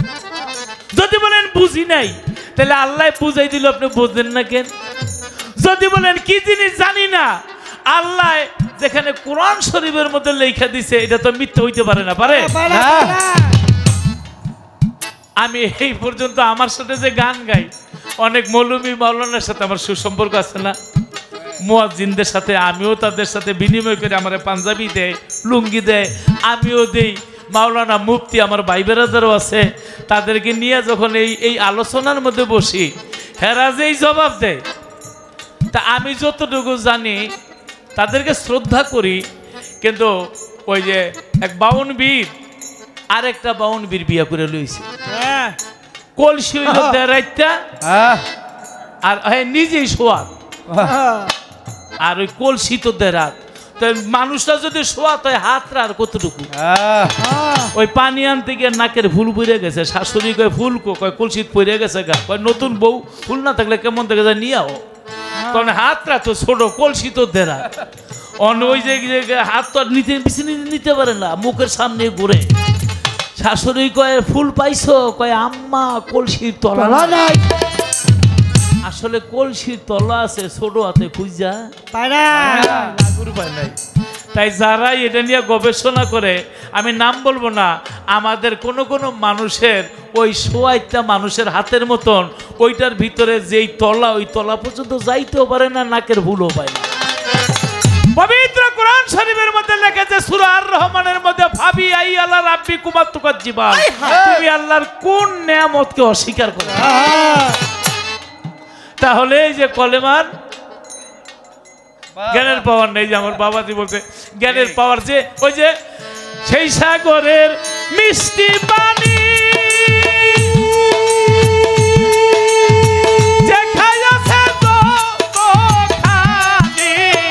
হালিম বলে যেমনি জ্ঞানী তেমনি তার ফকিরি।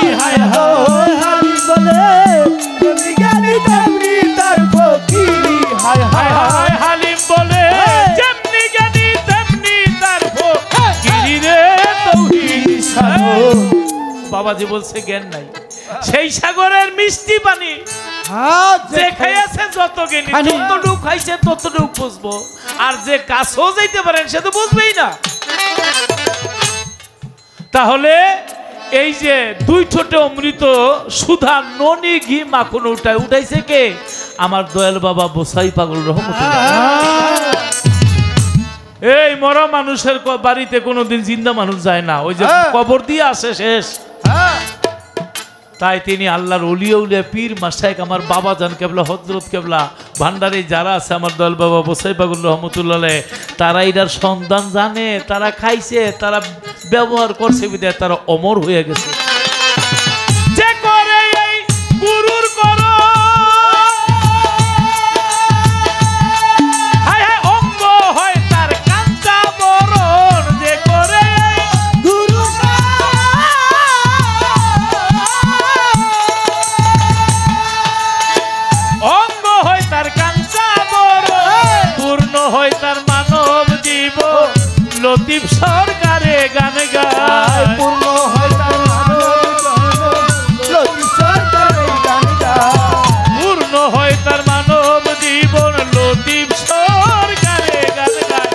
দেখলে জুড়ায় তাপি তঙ্গ আনন্দ প্রেম ঢেউ খেলায়। দেখলে জুড়ায় তাকি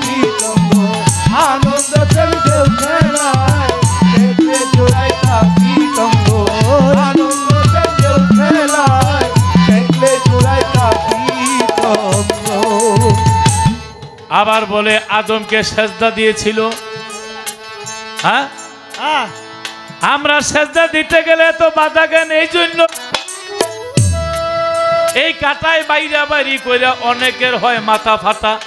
নাকি? কত জায়গায় গন্ডগোল হয় না? হ্যাঁ। আচ্ছা একটা কথার জবাব আপনারা দেন। আল্লাহর লগে আর শয়তানের লগে কাজ্যারা কি লইয়া টোকা দিস না? কাজ্যারা কি নিয়া? হ্যাঁ? এই তো ওই যে হ আসো তুমি সামনে আসো। কি নিয়া আল্লাহ কই সেজদা দে? শতান কই দিমু না। এই দুনিয়ার মধ্যে কারা দিতাছে আর কারা দিতাছে না দুইটা ভাগ করেন। ছয়তানের দলের কারা বউ তুমি আমার এখানে বসো। তোমার নাম কি? বাবা ভান্ডারি সাইফুদ্দিনের কাছে ওরে আমার তরিকার ভাই নিদানের ভাই বসো বসো বসো। আমার সাইফুদ্দিন আল মাঝবান্ডির মাদ্দা জিল্লালুর তার কাছে মুরিদ তরিকার ভাই। কাজ জানাই তো এইটা লইয়া? হ্যাঁ। শয়তানে কয় না আমি আপনার সাজদা দিব কয় আরে বোকা তুই আমার ভাবি কই? তুই যে আমার সাজদা দিবি আমার পাও তুই বিছরে ভাবি আদমের ভিতরে ছায়া দেখ কে বসে আছে। এই সুরত দুজকে যাবে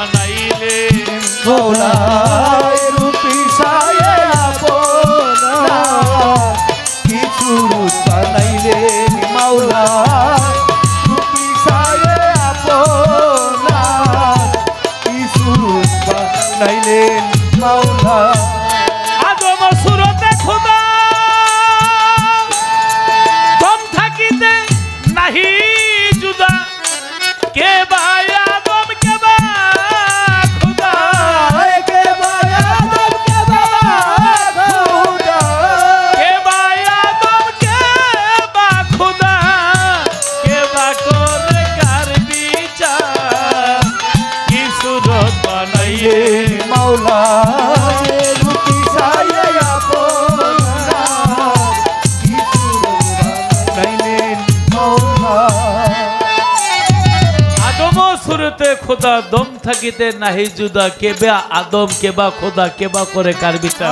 আরে শেষদা দে কয় না দিতাম না তোমারে সারা আরে আদমের দিলি তো আমি পাইতাম।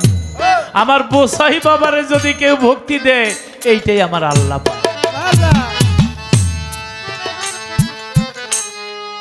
আপনারা ইউসুফ জুলেখা টেলিভিশনে দেখছেন না? কোরআন শরীফে আমি পড়েছি আপনারা পড়েছেন। একটু বাবাজি একটু বসেন। এই লাইট মারেন কে? বসেন বসেন বসেন। আচ্ছা আচ্ছা বসেন বসেন একটু। কোন কোন দলিলে বলে, যখন ইউসুফ তার এগারোটি ভাই তারে সেজদা দিয়েছিল, চন্দ্র, সূর্য, মা বাবা সেজদা দিয়েছিল, অনেক কাহিনী, এই ইসুফ যখন কূপের মধ্যে ফেলে দিল, সেখান থেকে জুলেখা ক্রয় করে নিল, সেখানে অনেক ঘটনা ইসুফের জন্য পাগল হইল কে? হ্যাঁ? জুলেখা। এইটা বাংলাদেশের আলেম সমাজ হলো তো আগেই ফাঁসি দিয়ে দিত। কি জোর কইরা ইউসুফের সাথে কাম নিবেদন করেছিল। এই কামটাই এক সময় প্রেমের মধ্যে আল্লাহ পরিণত করে দিল সেখানে জেলখানায় গেল কত কিছু হইল মিশরের হ্যাঁ অর্থমন্ত্রী হইল শেষ পর্যন্ত এগারো ভাই আসলো অভাবের জন্য খাদ্যের জন্য পরিচয় হইল, অনেক কাহিনী সেখানে যাব না। শেষ পর্যন্ত ইসুফ নবীর বাবা, সে বলল, আমার ইসুফ কোথায়? ইয়াকুব নবী একটা জামা দিছিল, যেই জামাটা ভেস্তি জামা। ইসুফ নবীর জন্য কানতে কানতে বাবার চোখের অন্ধ হয়ে গেছিল। বলছিল, আপনার ছেলেদের, ছেলেরা খেয়ে ফেলছে। বলে, কে খাইছে? কয়, বাঘে। কয়, বাঘটা দৌড়ে লই বাঘ কি আর মানুষে ধরতে পারে? বনের মধ্যে গেছে, গিয়া দেখে একটা বাঘ লড়ে সরে না, ওরে দৌড়া লইছে। কয়, বাবা, এই বাঘটা খাইছে বাঘেরে জিজ্ঞাসা করে ইকুব নবী, তুই আমার ছেলেরে খাইছস, তোর কি মায়া লাগল না? বাঘে বলে, আল্লাহ জবান খুলে দাও, আল্লাহ জবান খুলে দিয়েছে। বাঘ বলে, হে আল্লাহর নবী, আমি আপনাদের চিনি। আজ থেকে কয়েকদিন যাবত আমার একটা বাচ্চা আরেকটা বাঘে খাইয়া ফেলাইছে। আমি আমার সেই বাচ্চার শোকে শোকে না খাইতে না খাইতে আমি দুর্বল হয়ে গেছি। কাঁদতে কাঁদতে আমার চোখে গাও হয়ে গেছে। আমি আবার আরেকজনের বাচ্চা কেমনে খাই? বাঘ কোনোদিন মানুষে ধরতে পারে? আমি দুর্বল হয়ে গেছি দেখি তো ধরছে। আমার বাচ্চার জন্য আমি কাঁদি আপনার বাচ্চার আমি খাব কে? তখন বলেছিল বাঘ তুই আমার বাচ্চারে খাস নাই। ইসুফ নবীর ভাইয়েরা এত জ্ঞানী ছিল এটা বললে শেষ করা যাবে না। রাস্তা দিয়া যায়। এক বেলার আট মাসের গাভী যায়, জিজ্ঞাসা করে গাভীটা গেছে কোন দিক দিয়া। হ্যাঁ দেখে নাই কিন্তু ইসুফ নবীর ভাইয়েরা কয়, আপনার গাভীটা আট মাসের গাভীন। কয়, আপনারা দেখছেন? কয়, দেখি নাই। কয়, তা আট মাসের গাভীন বোঝ দেন কেমনে? কয়, আপনার গাভীর একটা চোখ কণা। কয়, আমার গাভীর চোখ কণা আপনি বুঝলেন কেমনে? দেখছেন? কয়, না, দেখি নাই। কয়, তাহলে কেমনে বুঝলেন? কয়, সামনের পাও দুইটা হালকা ডাবছে পিছনের পাও দুইটা বেশি ডাবছে এতে বোঝা যায় আট মাসের গাভীর কয়, তাইলে আমার গাভীর যে একটা চক্ষু কানা বুঝলেন কেমনে? কয়, দুই দিকে ধান ক্ষেত মাঝখান দিয়ে ও গেছে, ডান দিকের ধানের পাতাগুলি খাইছে, বাম দিকেরটা খায় নাই, ওর বাম চোখ কান্না ছিল, বাম দিকের ধান পাতা দেখেই কত বড় বুদ্ধিমান, কিন্তু আটকা খাইছে, যারাই খুন করে যারাই বড় বড় আসামি হয়, তারা অপরাধ করতে গিয়া কোনো না কোনো একটা ওখানে সাক্ষী রেখে আসে যেইটার সূত্র ধইরা ওদেরকে বাইর করে ফেলায় গোয়েন্দা তো বাবার কাছে যে গিয়া করলে বাবে খা, বাগে খাইছে, বাগে যদি খায়, তাহলে জামাটা ছিঁড়া থাকতো না, জামার মধ্যে রক্ত থাকতো না, জামাটা ভালো, তাহলে জামার ভিতরে ঢুকিয়া বাগে আমার বোলারে খাইলো? এই তো বাবার কাছে ধরা খেয়ে গেল গা। শেষ পর্যন্ত হ্যাঁ শেষ পর্যন্ত রাজ্য ফিরে পাইলো। সব ফিরা পাইল। লাস্টে ইয়াকুব নবী ইসুফের কাছে যখন যায় মিশরে তখন সেখানে বুকে বুকে আলিঙ্গন হয়। শেষ পর্যন্ত আল্লাহর তরফ থেকে নাজিল হইল। যেই স্বপ্নের কারণে ইউসুফকে কূপের মধ্যে ফেলেছে ওই স্বপ্ন বাস্তবায়িত করো। কি স্বপ্ন দেখছিল? ওই যে এগারোটি ভাই তারা আর চন্দ্র সূর্য সাজদা দিছে, ইউসুফ নবীর একানব্বই বছর পরে গিয়া আল্লাহ ওই স্বপ্নকে বাস্তবায়িত করে।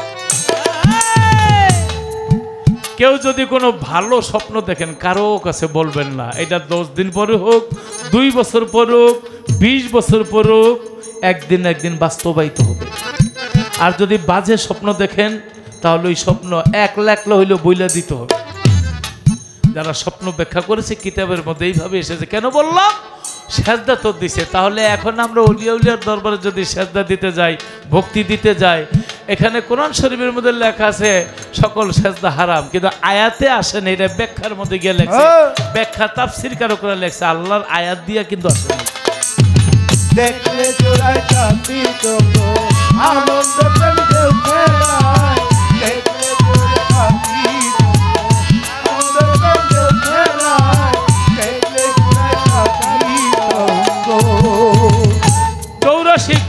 পা হইতে মাথা পর্যন্ত দুই আংলি এক ক্রোশ দুই আংলি এক ক্রোশ এইভাবে যার যার দুই আংলিতে পাও হইতে মাথা পর্যন্ত চৌরাশি ক্রোশ এই চৌরাশি ক্রোশের মধ্যে তাহলে এই নিজের আছে নীর, বাবার আছে নীর, মায়ের আছে, নিজের আছে নূর, মায়ের আছে নীর এই দুইয়ের মধ্যে আছে পীর। এই পীরের আস্বাদনে এখানে আসে ক্ষীর। এই ক্ষীর পঞ্চরস যদি কেউ সাধন করতে পারে আরে আরও কিছু কথা ছিল? সব কথা বলতে পারলাম না তবে এখানে অনেক পীর মাসায়ক আছে। পীর মাসায়ক যেহেতু আছে ভক্ত আছে। ওই গুরুর দরবারে গিয়ে একটা ভক্তি দিয়ে আইয়া পড়লেন এইটা করেন না। গুরুর কাছে একটু বইছেন বৈশাখ গুরুর একটু সেবা যত্ন করেন। এমন একটা সময় খুঁজা নিয়েন যেই সম সময়ে গেলে গুরুর কিছু অমূল্য ভাণ্ডের মধ্যে যা জমা আছে, এটা দেবার আপনি পাওয়ার জন্য খোঁজেন আর গুরু দেওয়ার জন্য খোঁজে তাই না? তিন বছর যাবৎ গুরু বাড়ি যায় না, হঠাৎ করে দেখে লম্বা করে এক ভক্তি দিয়া বলছে হাতে একশো টাকা দিছে। পিসা বেজি গায়ে বাড়িতে আসো না কেন? আপনি নেন না তাই যাই না। কি ভক্ত? তিন বছর যাবৎ উরুষে যায় না। কয় নেন না তাই যাই না। এরকম মন করা যদি হয় তাহলে তো হবে না। তাই আপনি যা চাচ্ছেন আপনার গুরু নিয়ে বসে আছে দেওয়ার জন্য। একটা ভাণ্ড খুঁজে পায় না। যদি দেখতে চাও মাবুদ মাওলা খাও যায় সে এসকের পিয়া যদি আয়নার মতো হইতে চাও আয়না করো যায় আমার বসাই বাবার সাধনা। পীরে দেখিয়া খেদমত খাওয়াইব মরণের ঔষধ যেই ঔষধ খাইছিল মনসুর বাংলা এত দুঃখ এই কপালে কি গান আছে না? লেখা দিছে শ্যাম গোপালে। ভক্ত কুলে সুখের জন্ম নাই। ভক্ত কুলে। সুখের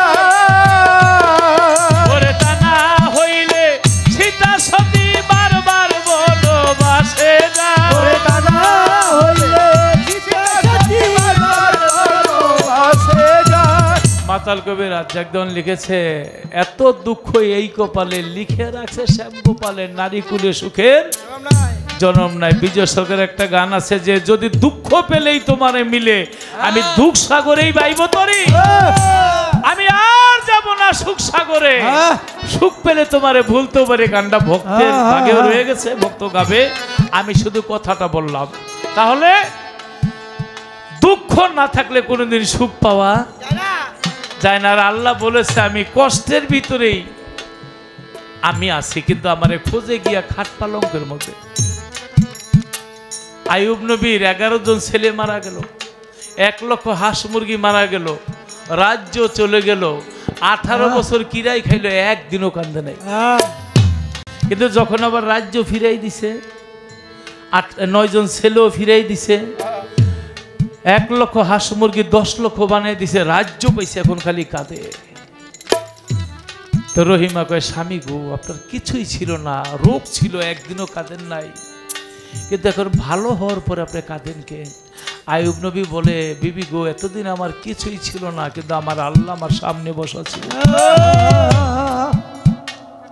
আমার এর বারো ধরো, প্রতিদিন সকাল, বিকাল দুইবার জিজ্ঞাসা করতো, আমার আয়ু তুমি কেমন আছো? কিন্তু যেদিন থেকে আমি রাজ্য ফিরা পাইছি, সব পাইছি কিন্তু আমি আমার আল্লাহরে হারাই ফেলাইছি। দুঃখটাই ভালো ছিল।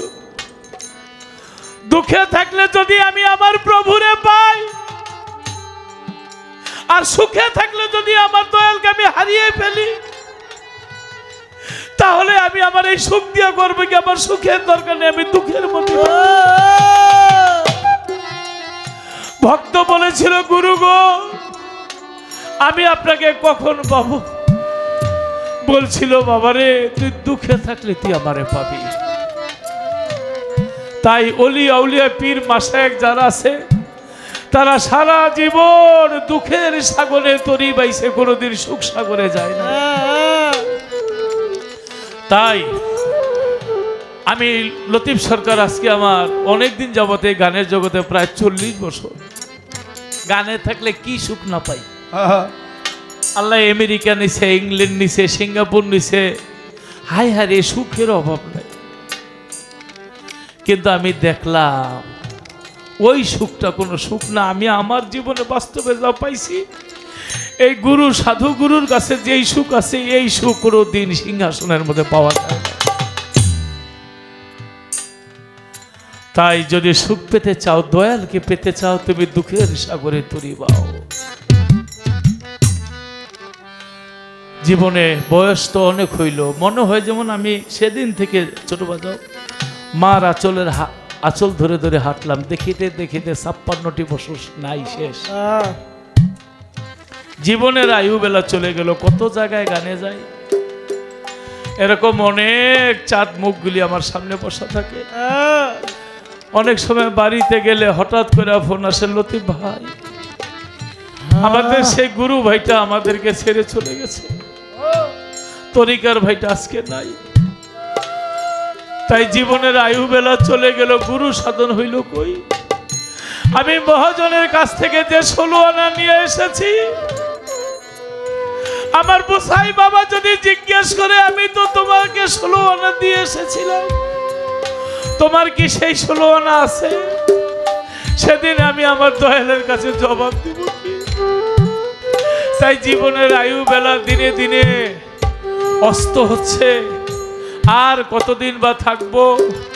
তাই আমার আশেকার প্রেমিক ভাই, তরিকার ভাই, তাদের কাছে আমার কিছু আবেদন রেখে আমার এই গানটি।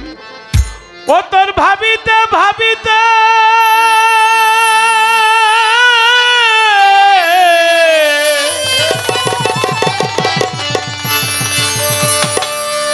জীবনের আয়ু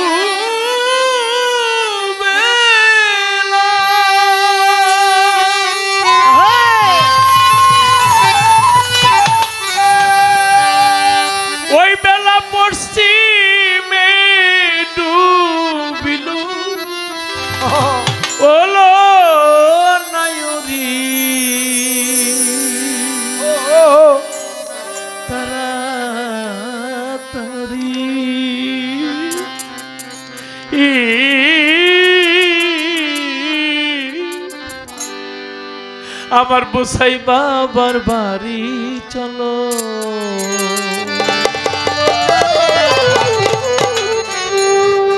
নায়র ভূতে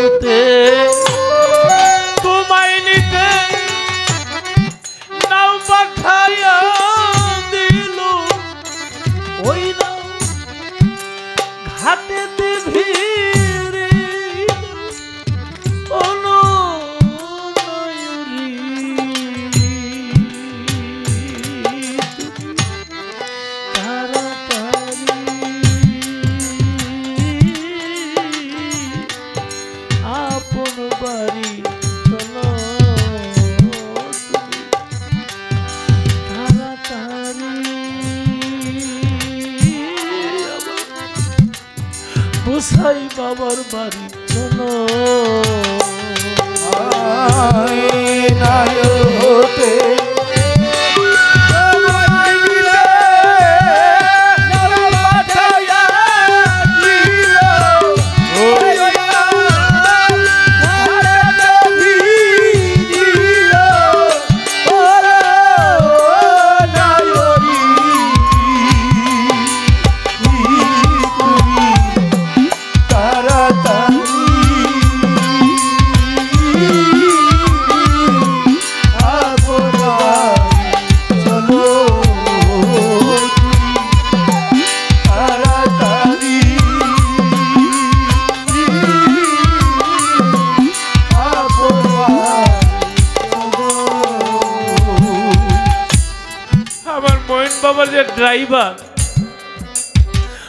বাবা যখন চট্টগ্রাম থেকে আসে, দাউদ কান্দি ব্রিজ আসলে আপনার কোথাও স্মরণ করে যে ড্রাইভার সাসাব কি ফোন দিছিল?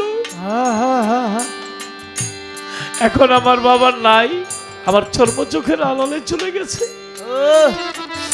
বাবা থাকতে জীবনে অনেক ভেবেছি বাবার সাথে সঙ্গ দিব, কিন্তু গান এই সিজনে না, আরেক সিজনে এই বিশ দিন গান শেষ করে আর গান দিব না বাবার সাথে থাকব। এইভাবে বলতে বলতে সময় কারও অপেক্ষা করে না। আমার বাবা আমাকে অকুল সাহেবের ভাষায় চলে গেছে। যদিও আমার মোহিন বাবা চলে গেছে। আজকে বোসাই বাবা রহমতুল্লাহ দরবারে গান। পৃথিবীর মধ্যে যত গুরু মূলে গুরু একজন নাম কেবল ভিন্ন দেহ কেবল ভিন্ন।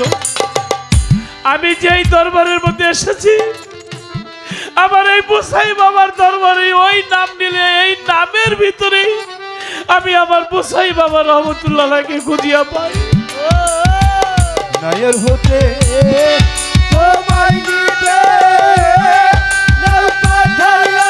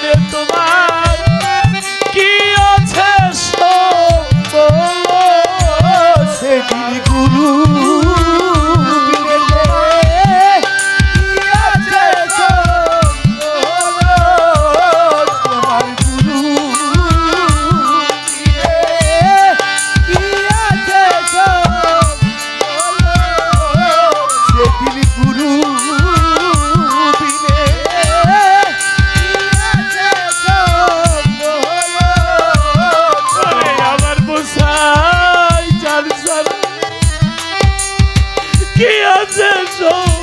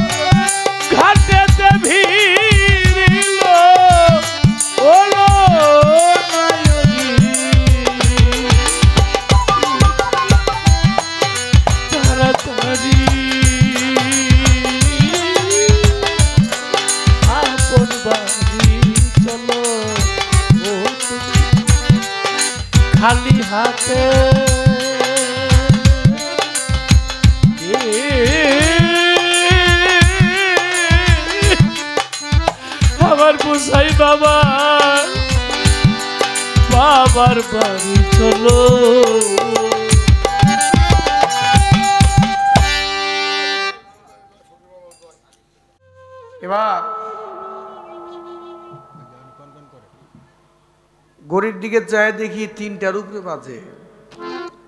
প্রায় সাড়ে তিনটার মতো। কাছাকাছি চলে গেছে মনে হয়।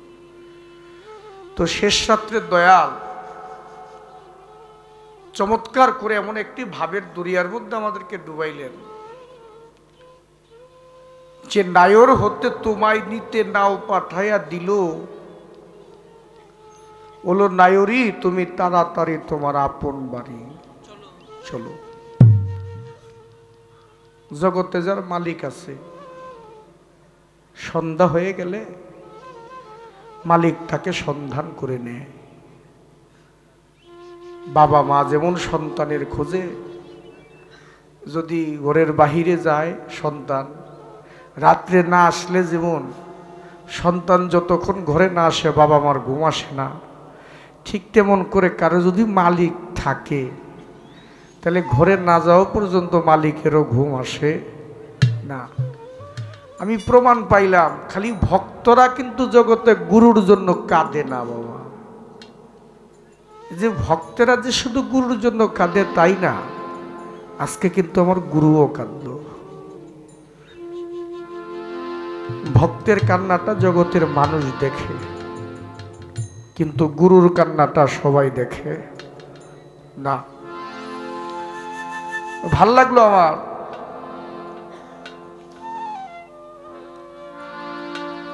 এই পৃথিবীর মধ্যে যে ভক্ত হইছে, তার আর অভাব থাকে না। নিজামুদ্দিন আউলি একদিন আমির খসরুকে মনের অভিমানে বলছিল, বাবা, তুমি আমার দরবার থেকে বের হয়ে যাও। আমির খসরু বের হয়ে গেছিল। এক ভিক্ষুক আসছিল নিজামুদ্দিন আউলিয়ার বাড়িতে। আয়সা বলছিল, যে আউলিয়া সাহেব, আমি তো গরিব মানুষ, আমারে কিছু ভিক্ষা দেন। তো নিজামুদ্দিন আউলিয়া বলছিল, আমার কাছে তো কিছু নাই, তোমারে কি দিব? কথা বলার পরও ভিক্ষুক কিন্তু ঘরের দরজা থেকে যায় না। ভিক্ষুকের কথা হলো, খালি হাতে আমি যাব না। কারণ অলি আল্লাহর দরবারে কখনোই খালি হাতে কেউ ফিরে না। যদি নিয়ত করে মন নিয়ে যাইতে পারে। তো নিজামুদ্দিন আউলিয়া তার যে পবিত্র খরম জোড়া ছিল পুরাতন ও খরম জোড়া ভিক্ষুককে দিয়ে দিছে। এই ভিক্ষুক খরম জোড়া নিয়া মনে মনে চিন্তা করে, যা বিক্রি করতে পারি, তাই তো ভালো। রাস্তা দিয়ে যায় আর ওই পথের মধ্যে আমির খসরুর সাথে দেখা হয়ে গেছে, ভিক্ষুকের। আমির খসরু ভিক্ষুককে দেখেই তার মনের মধ্যে একটা ভাবের উদয় হয়ে গেল কিরে আমার মুর্শিদের গায়ের গন্ধ আসতেছে গ্রাণ আসতেছে। জিজ্ঞেস করে, ভাই, তুমি কোথায় গেছিলা? আমি গেছিলাম আমার আউলিয়া সাহেবের বাড়িতে নিজামুদ্দিনের বাড়িতে গেছিলাম। সত্যি তুমি আউলিয়া সাহেবের বাড়িতে গেছো? হ্যাঁ। আমির খসরু গিয়ে পায়ের মধ্যে পড়ে গেছি ভিক্ষুকের। ভাই তোমার এই পাও দুইটা দিয়া তুমি আমার গুরু বাড়িতে হারছো না। তোমার এই পায়ের ধুলিগুলো আমার বুকের মধ্যে না মাখলে আমার কাছে ভালো লাগবে না। ভিক্ষুক কয়ে ভক্ত দেখছি রে এমন ভক্ত তো দেখি নাই। ভিক্ষুক হইতেছে আমির খসরু তুমি জানো আমি তো তোমার গুরু বাড়িতে হারসি বিদায়, তুমি আমাকে আমার পায়ে ধরে। তুমি সমস্ত ধুলি নিচ্ছ তোমার বুকের মধ্যে। তুমি জানো, আরও একটি মহামূল্যবান সম্পদ আমার কাছে আছে তোমার দয়ালের। আমির খসরুকো কিরে ভাই? বলে, তোমার দয়ালের পবিত্র খরম জোড়াবো আহ, আমির খসরু ভিক্ষুকের কাছ থেকে বিনয় করে বলে, ভাই তোমার যা খুশি তাই আমার কাছে চাও, আমি তোমাকে দিব। কিন্তু তারপর আমার দয়ালের খরম জোড়া তুমি আমাকে তৎকালীন সময় আমির খসরু যত সম্পত্তি ছিল বিক্রি কইরা তৎকালীন সময় এক লক্ষ টাকা ভিক্ষুককে দিয়েছিল দয়ালের খরম জোড়ার জন্য। আর আমি কেমন বক্ত হইলাম হ্যাঁ? দয়ালের বাড়িতে বৎসরে অনুষ্ঠান হয়। এত টাকা গান করে পারি না দয়ালের বাড়িতে দশ হাজার টাকা দেওয়ার জন্য। কি? পারি না, আমার তৌফিকে হয় না। আরে তৌফিক আছে, আমার মন নাই। আমি যে নামধারী ভক্ত, আমি তো মুখে মুখে গুরুকে ভালোবাসি। আমি প্রকৃতভাবে গুরুকে ভালোবাসি না। যদি প্রকৃতভাবে গুরুকেই ভালোবাসতাম, তাহলে এই উপার্জন তো তারই। তাহলে তারটা তো তারই দিত আমির খসরু এক লক্ষ টাকা সব বিক্রি করে দিছে উনি যে থাকবে, স্ত্রী পুত্র নিয়ে সেই চিন্তা করে নাই। এক লক্ষ টাকা বিক্রি করে সব ভিক্ষুককে দিছে ভিক্ষুক তো টাকা বয়া খুশি। আর আমির খসরু দয়ালের খরম জোড়া বুকের মধ্যে নিয়ে কখন বুকে রাখে, কখন মাথায় রাখে। কই রাখবে? দয়াল তো দরবারে যাইতো নিষেধ করছে। এই সম্পদ আমি রাখি গেছে এক মুসির কাছে। যাই বলতেছে, ভাই, এই গরম জোড়া তুমি আমার সুন্দর করে খুইলা দাও। তো চামড়া না খুলছে। খুইলা এই চামড়াগুলা বুকের মধ্যে নিয়ে গেছে দর্জির কাছে। গিয়ে বলতেছে, ভাই, আমার এই তুমি চামড়াগুলা দিয়ে আমার একটা টুপি বানায় দাও, মাথায় পরবো। দর্জি কয় আমির সুরে পাগল দেখছি রে। আমি তো তোমার মতো এমন পাগল দেখি নাই। মানুষে টুপি বানায় কাপড় দিয়া, আর তুমি চামড়া দিয়া টুপি বানাইবা। আমির খুরশি বলে, ভাই, এটা আমার চামড়া না। আমার মুর্শিদ ফেরেস্তা রূপী এক বিক্ষুব দিয়া আমার কাছে এই সম্পদটা পাঠায়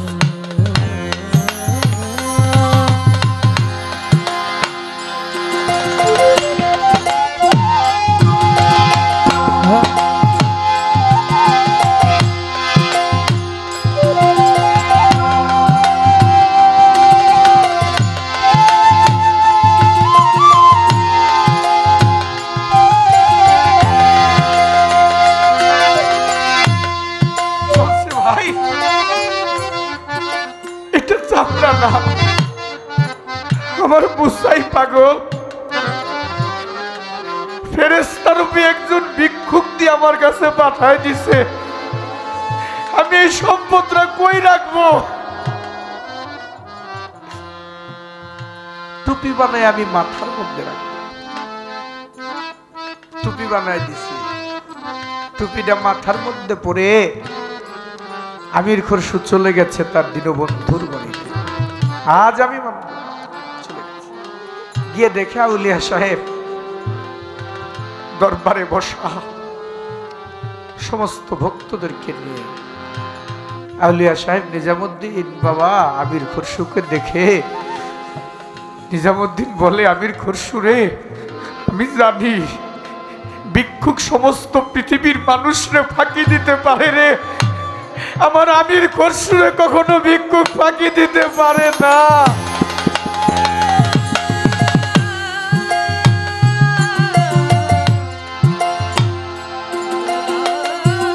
আহা।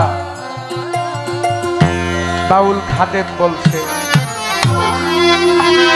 পাপি তাপি, তরাইতে, পাপি তাপি, তরাইতে, যোগে যোগে অবতার, দয়াল চাঁদ মুর্শিদ আমার আমার উপায় কি হবে গো? গোসাই পাগলা চান আমার। উপায় কি হবে গো? দয়াল চান মুর্শিদ পাপি দাবি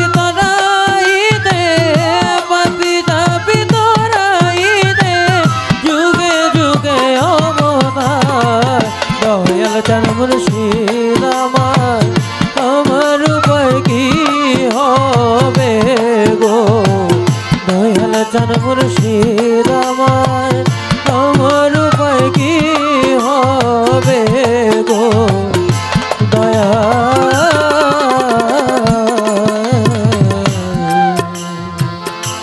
নাম শুনেছি, রহিম রহমান। বুসাই পাগল, কি আছে তোর দয়ার সমান গো? নাম শুনেছি, রহিম রহমান। আরে ও দয়াল, কি আছে তোর দয়াল ওরে নাম শুনেছি, রহিম রহমান। বাবা আজি জুলুচান কি আছে তোর দয়ার সভা পারো।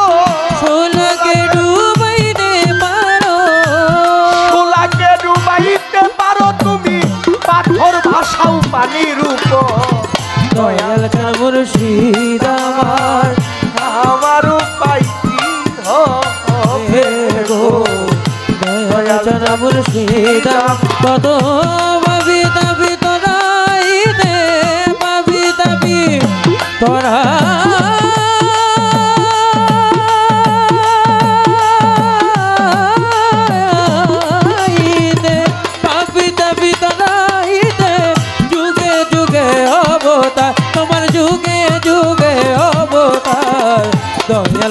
মুর্শিদ আমার আমার উপায় কি হবে গো?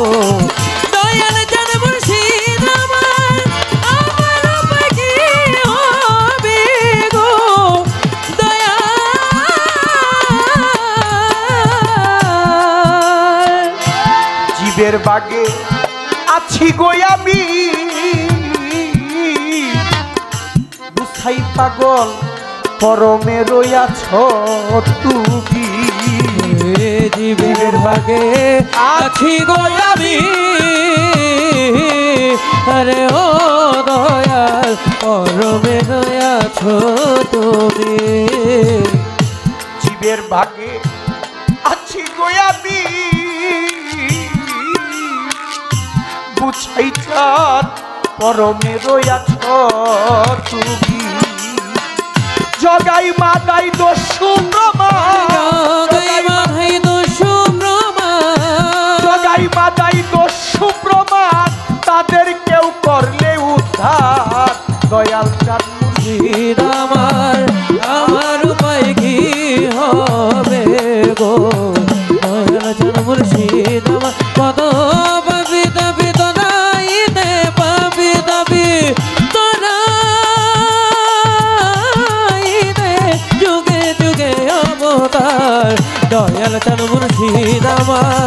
আমার উপায় কি হবে গো?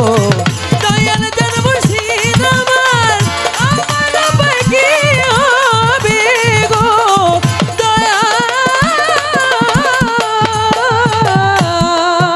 বাবা, যাহাই ছিল তোমার গোপুজি বাজার কিছুই তো করলাম না রুজি। ছিল তোমার গো বুঝি। আরে ও বুঝাই জান কিছুই তো করলাম না রোজি। যাহাই ছিল তোমার গোপুজি বুঝাই পাগল কিছুই তো করলাম না রুজি। বাউল খাদে মে কই ভাবে বুঝি।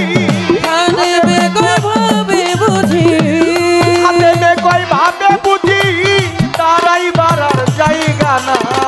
দয়াল চান মুর্শিদ আমার আমার উপায় কি হবে গো?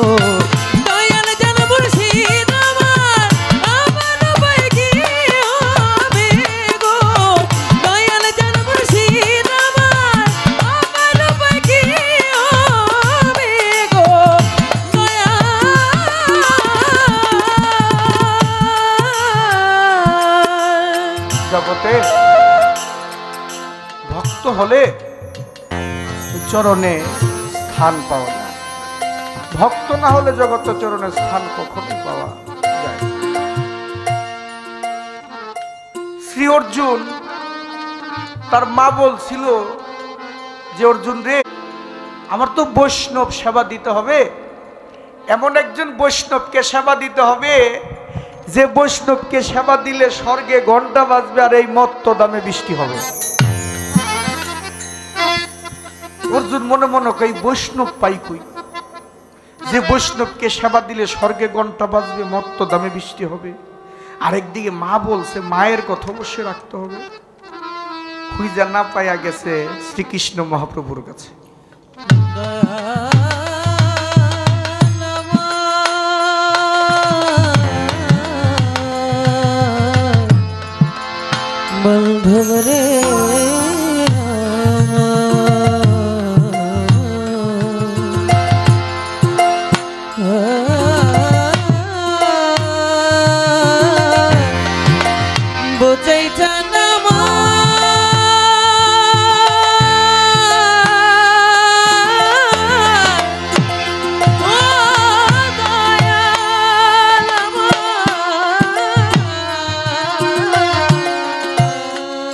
অর্জুন কয়, বৈষ্ণব পাইকুই ছোট করে বাজাও। শ্রীকৃষ্ণ ভগবান তার কাছে গিয়ে বলতেছে, প্রভু আমার মায় বলছে, বৈষ্ণব সেবা দিতে হবে, এমন একজন বৈষ্ণবকে সেবা দিতে হবে, যাকে সেবা দিলে স্বর্গে ঘণ্টা বাজে। আমি তো বৈষ্ণব খুঁজে পাই না। শ্রীকৃষ্ণ মহাপ্রভু বলে, না, বৈষ্ণব আছে, তুমি চিনো না। তোমার বাড়ির পাশে দেখবা রোহিদাস নামে একজন ঋষি আছে। সে বর্তমান জামানায় সর্বশ্রেষ্ঠ বৈষ্ণব। তুমি যদি তাকে দাওয়াত দিতে পারো তাকে দাওয়াত দিলে দেখবা তোমার এই ভজনা সিদ্ধি হবে এবং স্বর্গে ঘণ্টা বাজবে তোমার মায়ের আশাও পূরণ হবে। তবে একটা কথা তুমি যে দাওয়াত দিতে তাকে যাইবা তোমার ব্যবহারে আচরণে যাতে সে কোনো কষ্ট না পায়। যদি কষ্ট পায় তাহলে কিন্তু সে তোমার বাড়িতে সেবা নিতে কখনো আসবে? না। তো শ্রী অর্জুন চলে গেছে। ওই রুহিদাস শিশি বাড়িতে। তো রুহিদাস শিশি ঠাকুর বাড়িতে যাওয়ার পথ দিয়া দুই পাশে দুইটা পুষ্কুনি, পুকুর। তো দুই পাশে চামড়া বিজায় রাখছে যে গাভী গরুর চামড়া বিজায় রাখছে।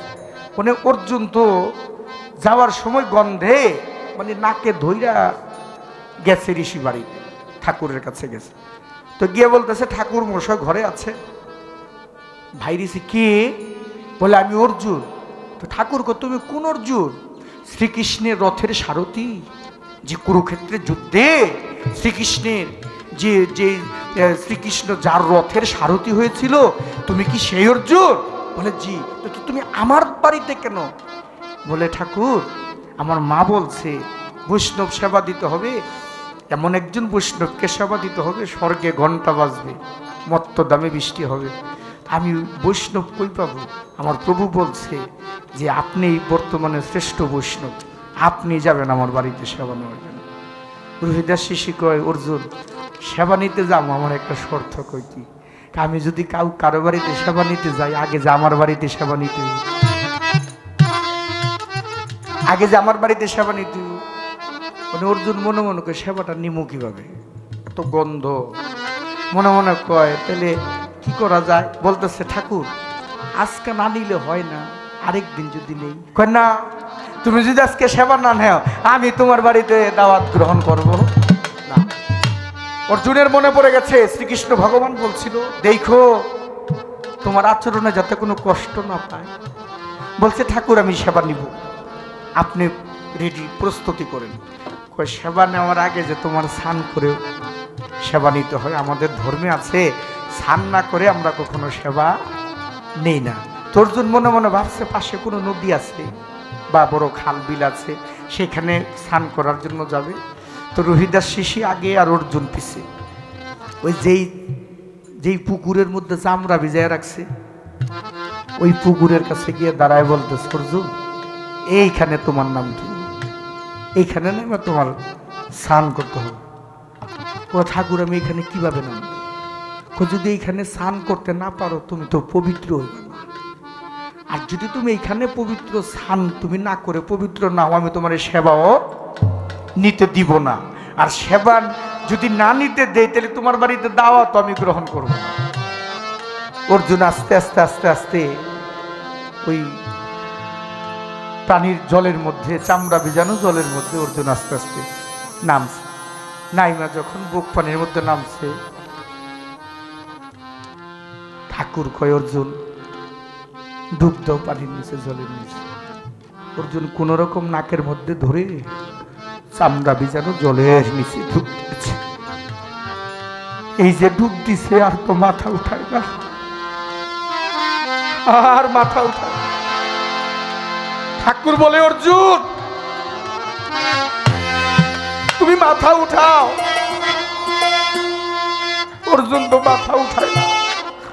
অনেক পরে অর্জুন মাথা উঠাইছে। উঠায় বলতেছে, ঠাকুর, আমার একটু ফরিয়াদ আপনার চরণে।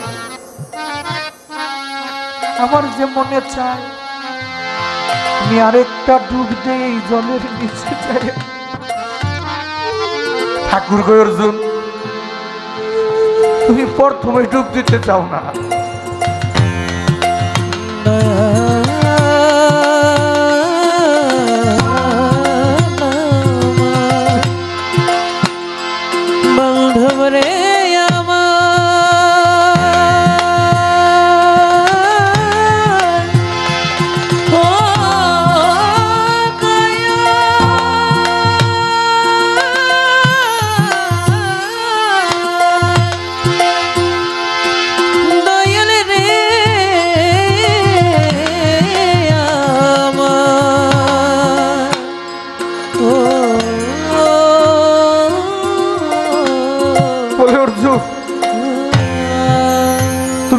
প্রথমে ডুব দিতে চাও না, তো তুমি এখন আরেকটা ডুব দিবা কেন?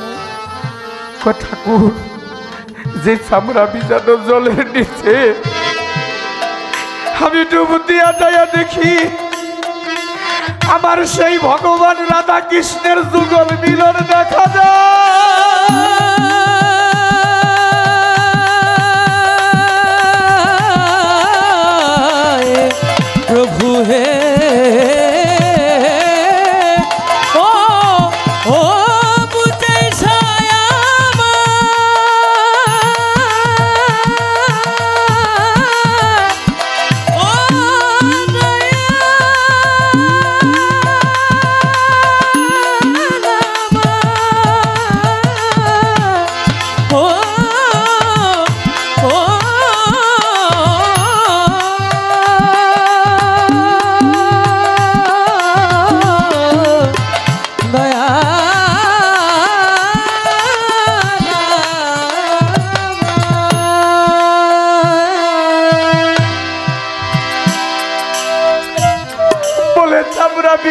জলের নিচে।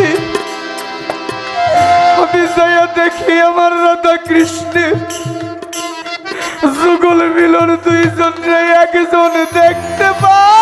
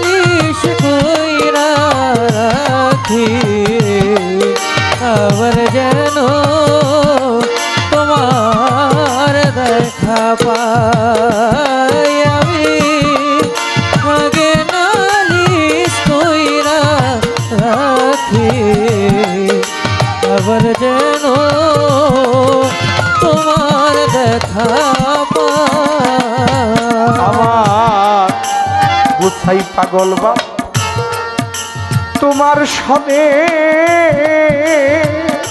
ওরে আমার বুসাই পাগল। তোমার সনে করে বাজা কত মধুরালা সুখের মিশি জাগিয়া আমার। জানো বন্ধু তোমার সরে ওরে আমার বুঝাই সাবা তোমার সরে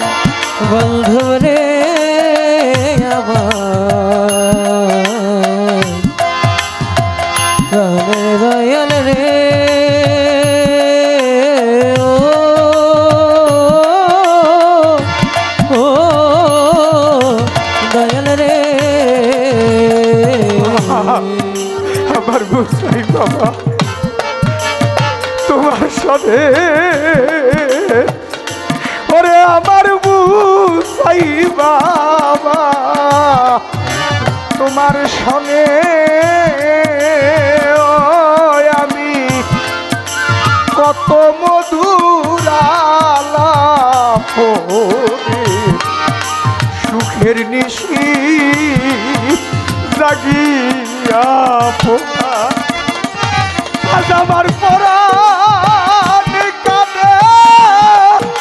তোমার তোরে আমি মুক্তি রেখা রে দেখা।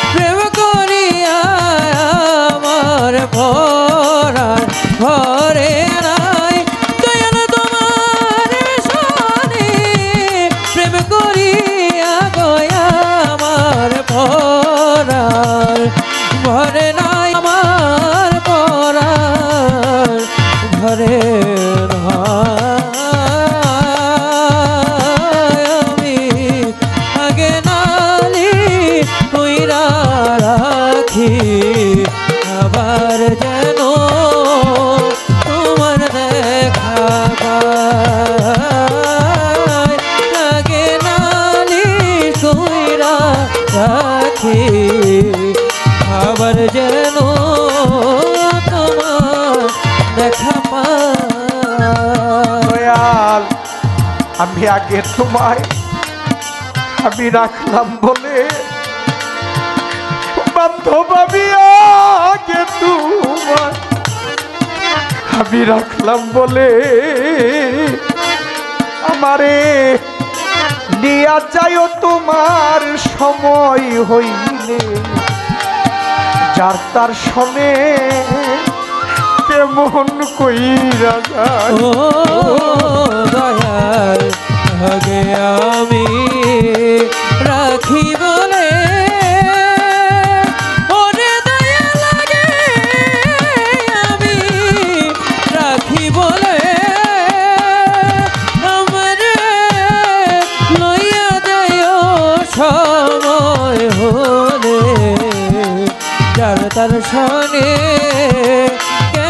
করে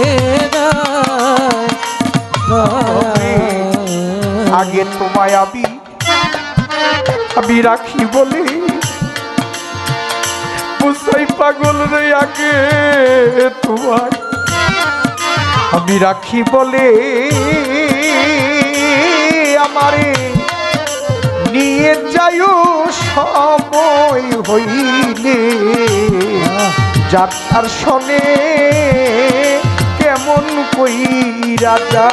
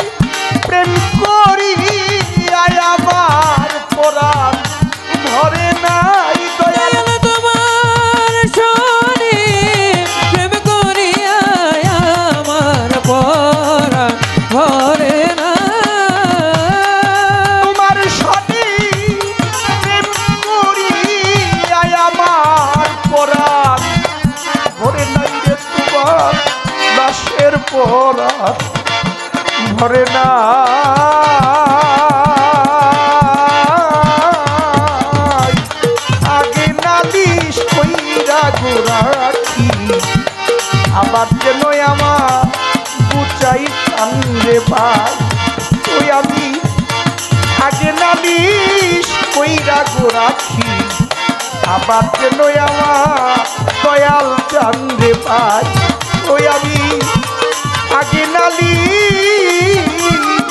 কইরা রাখি। আমি আবার যেন দয়াল তোমার দেখা পা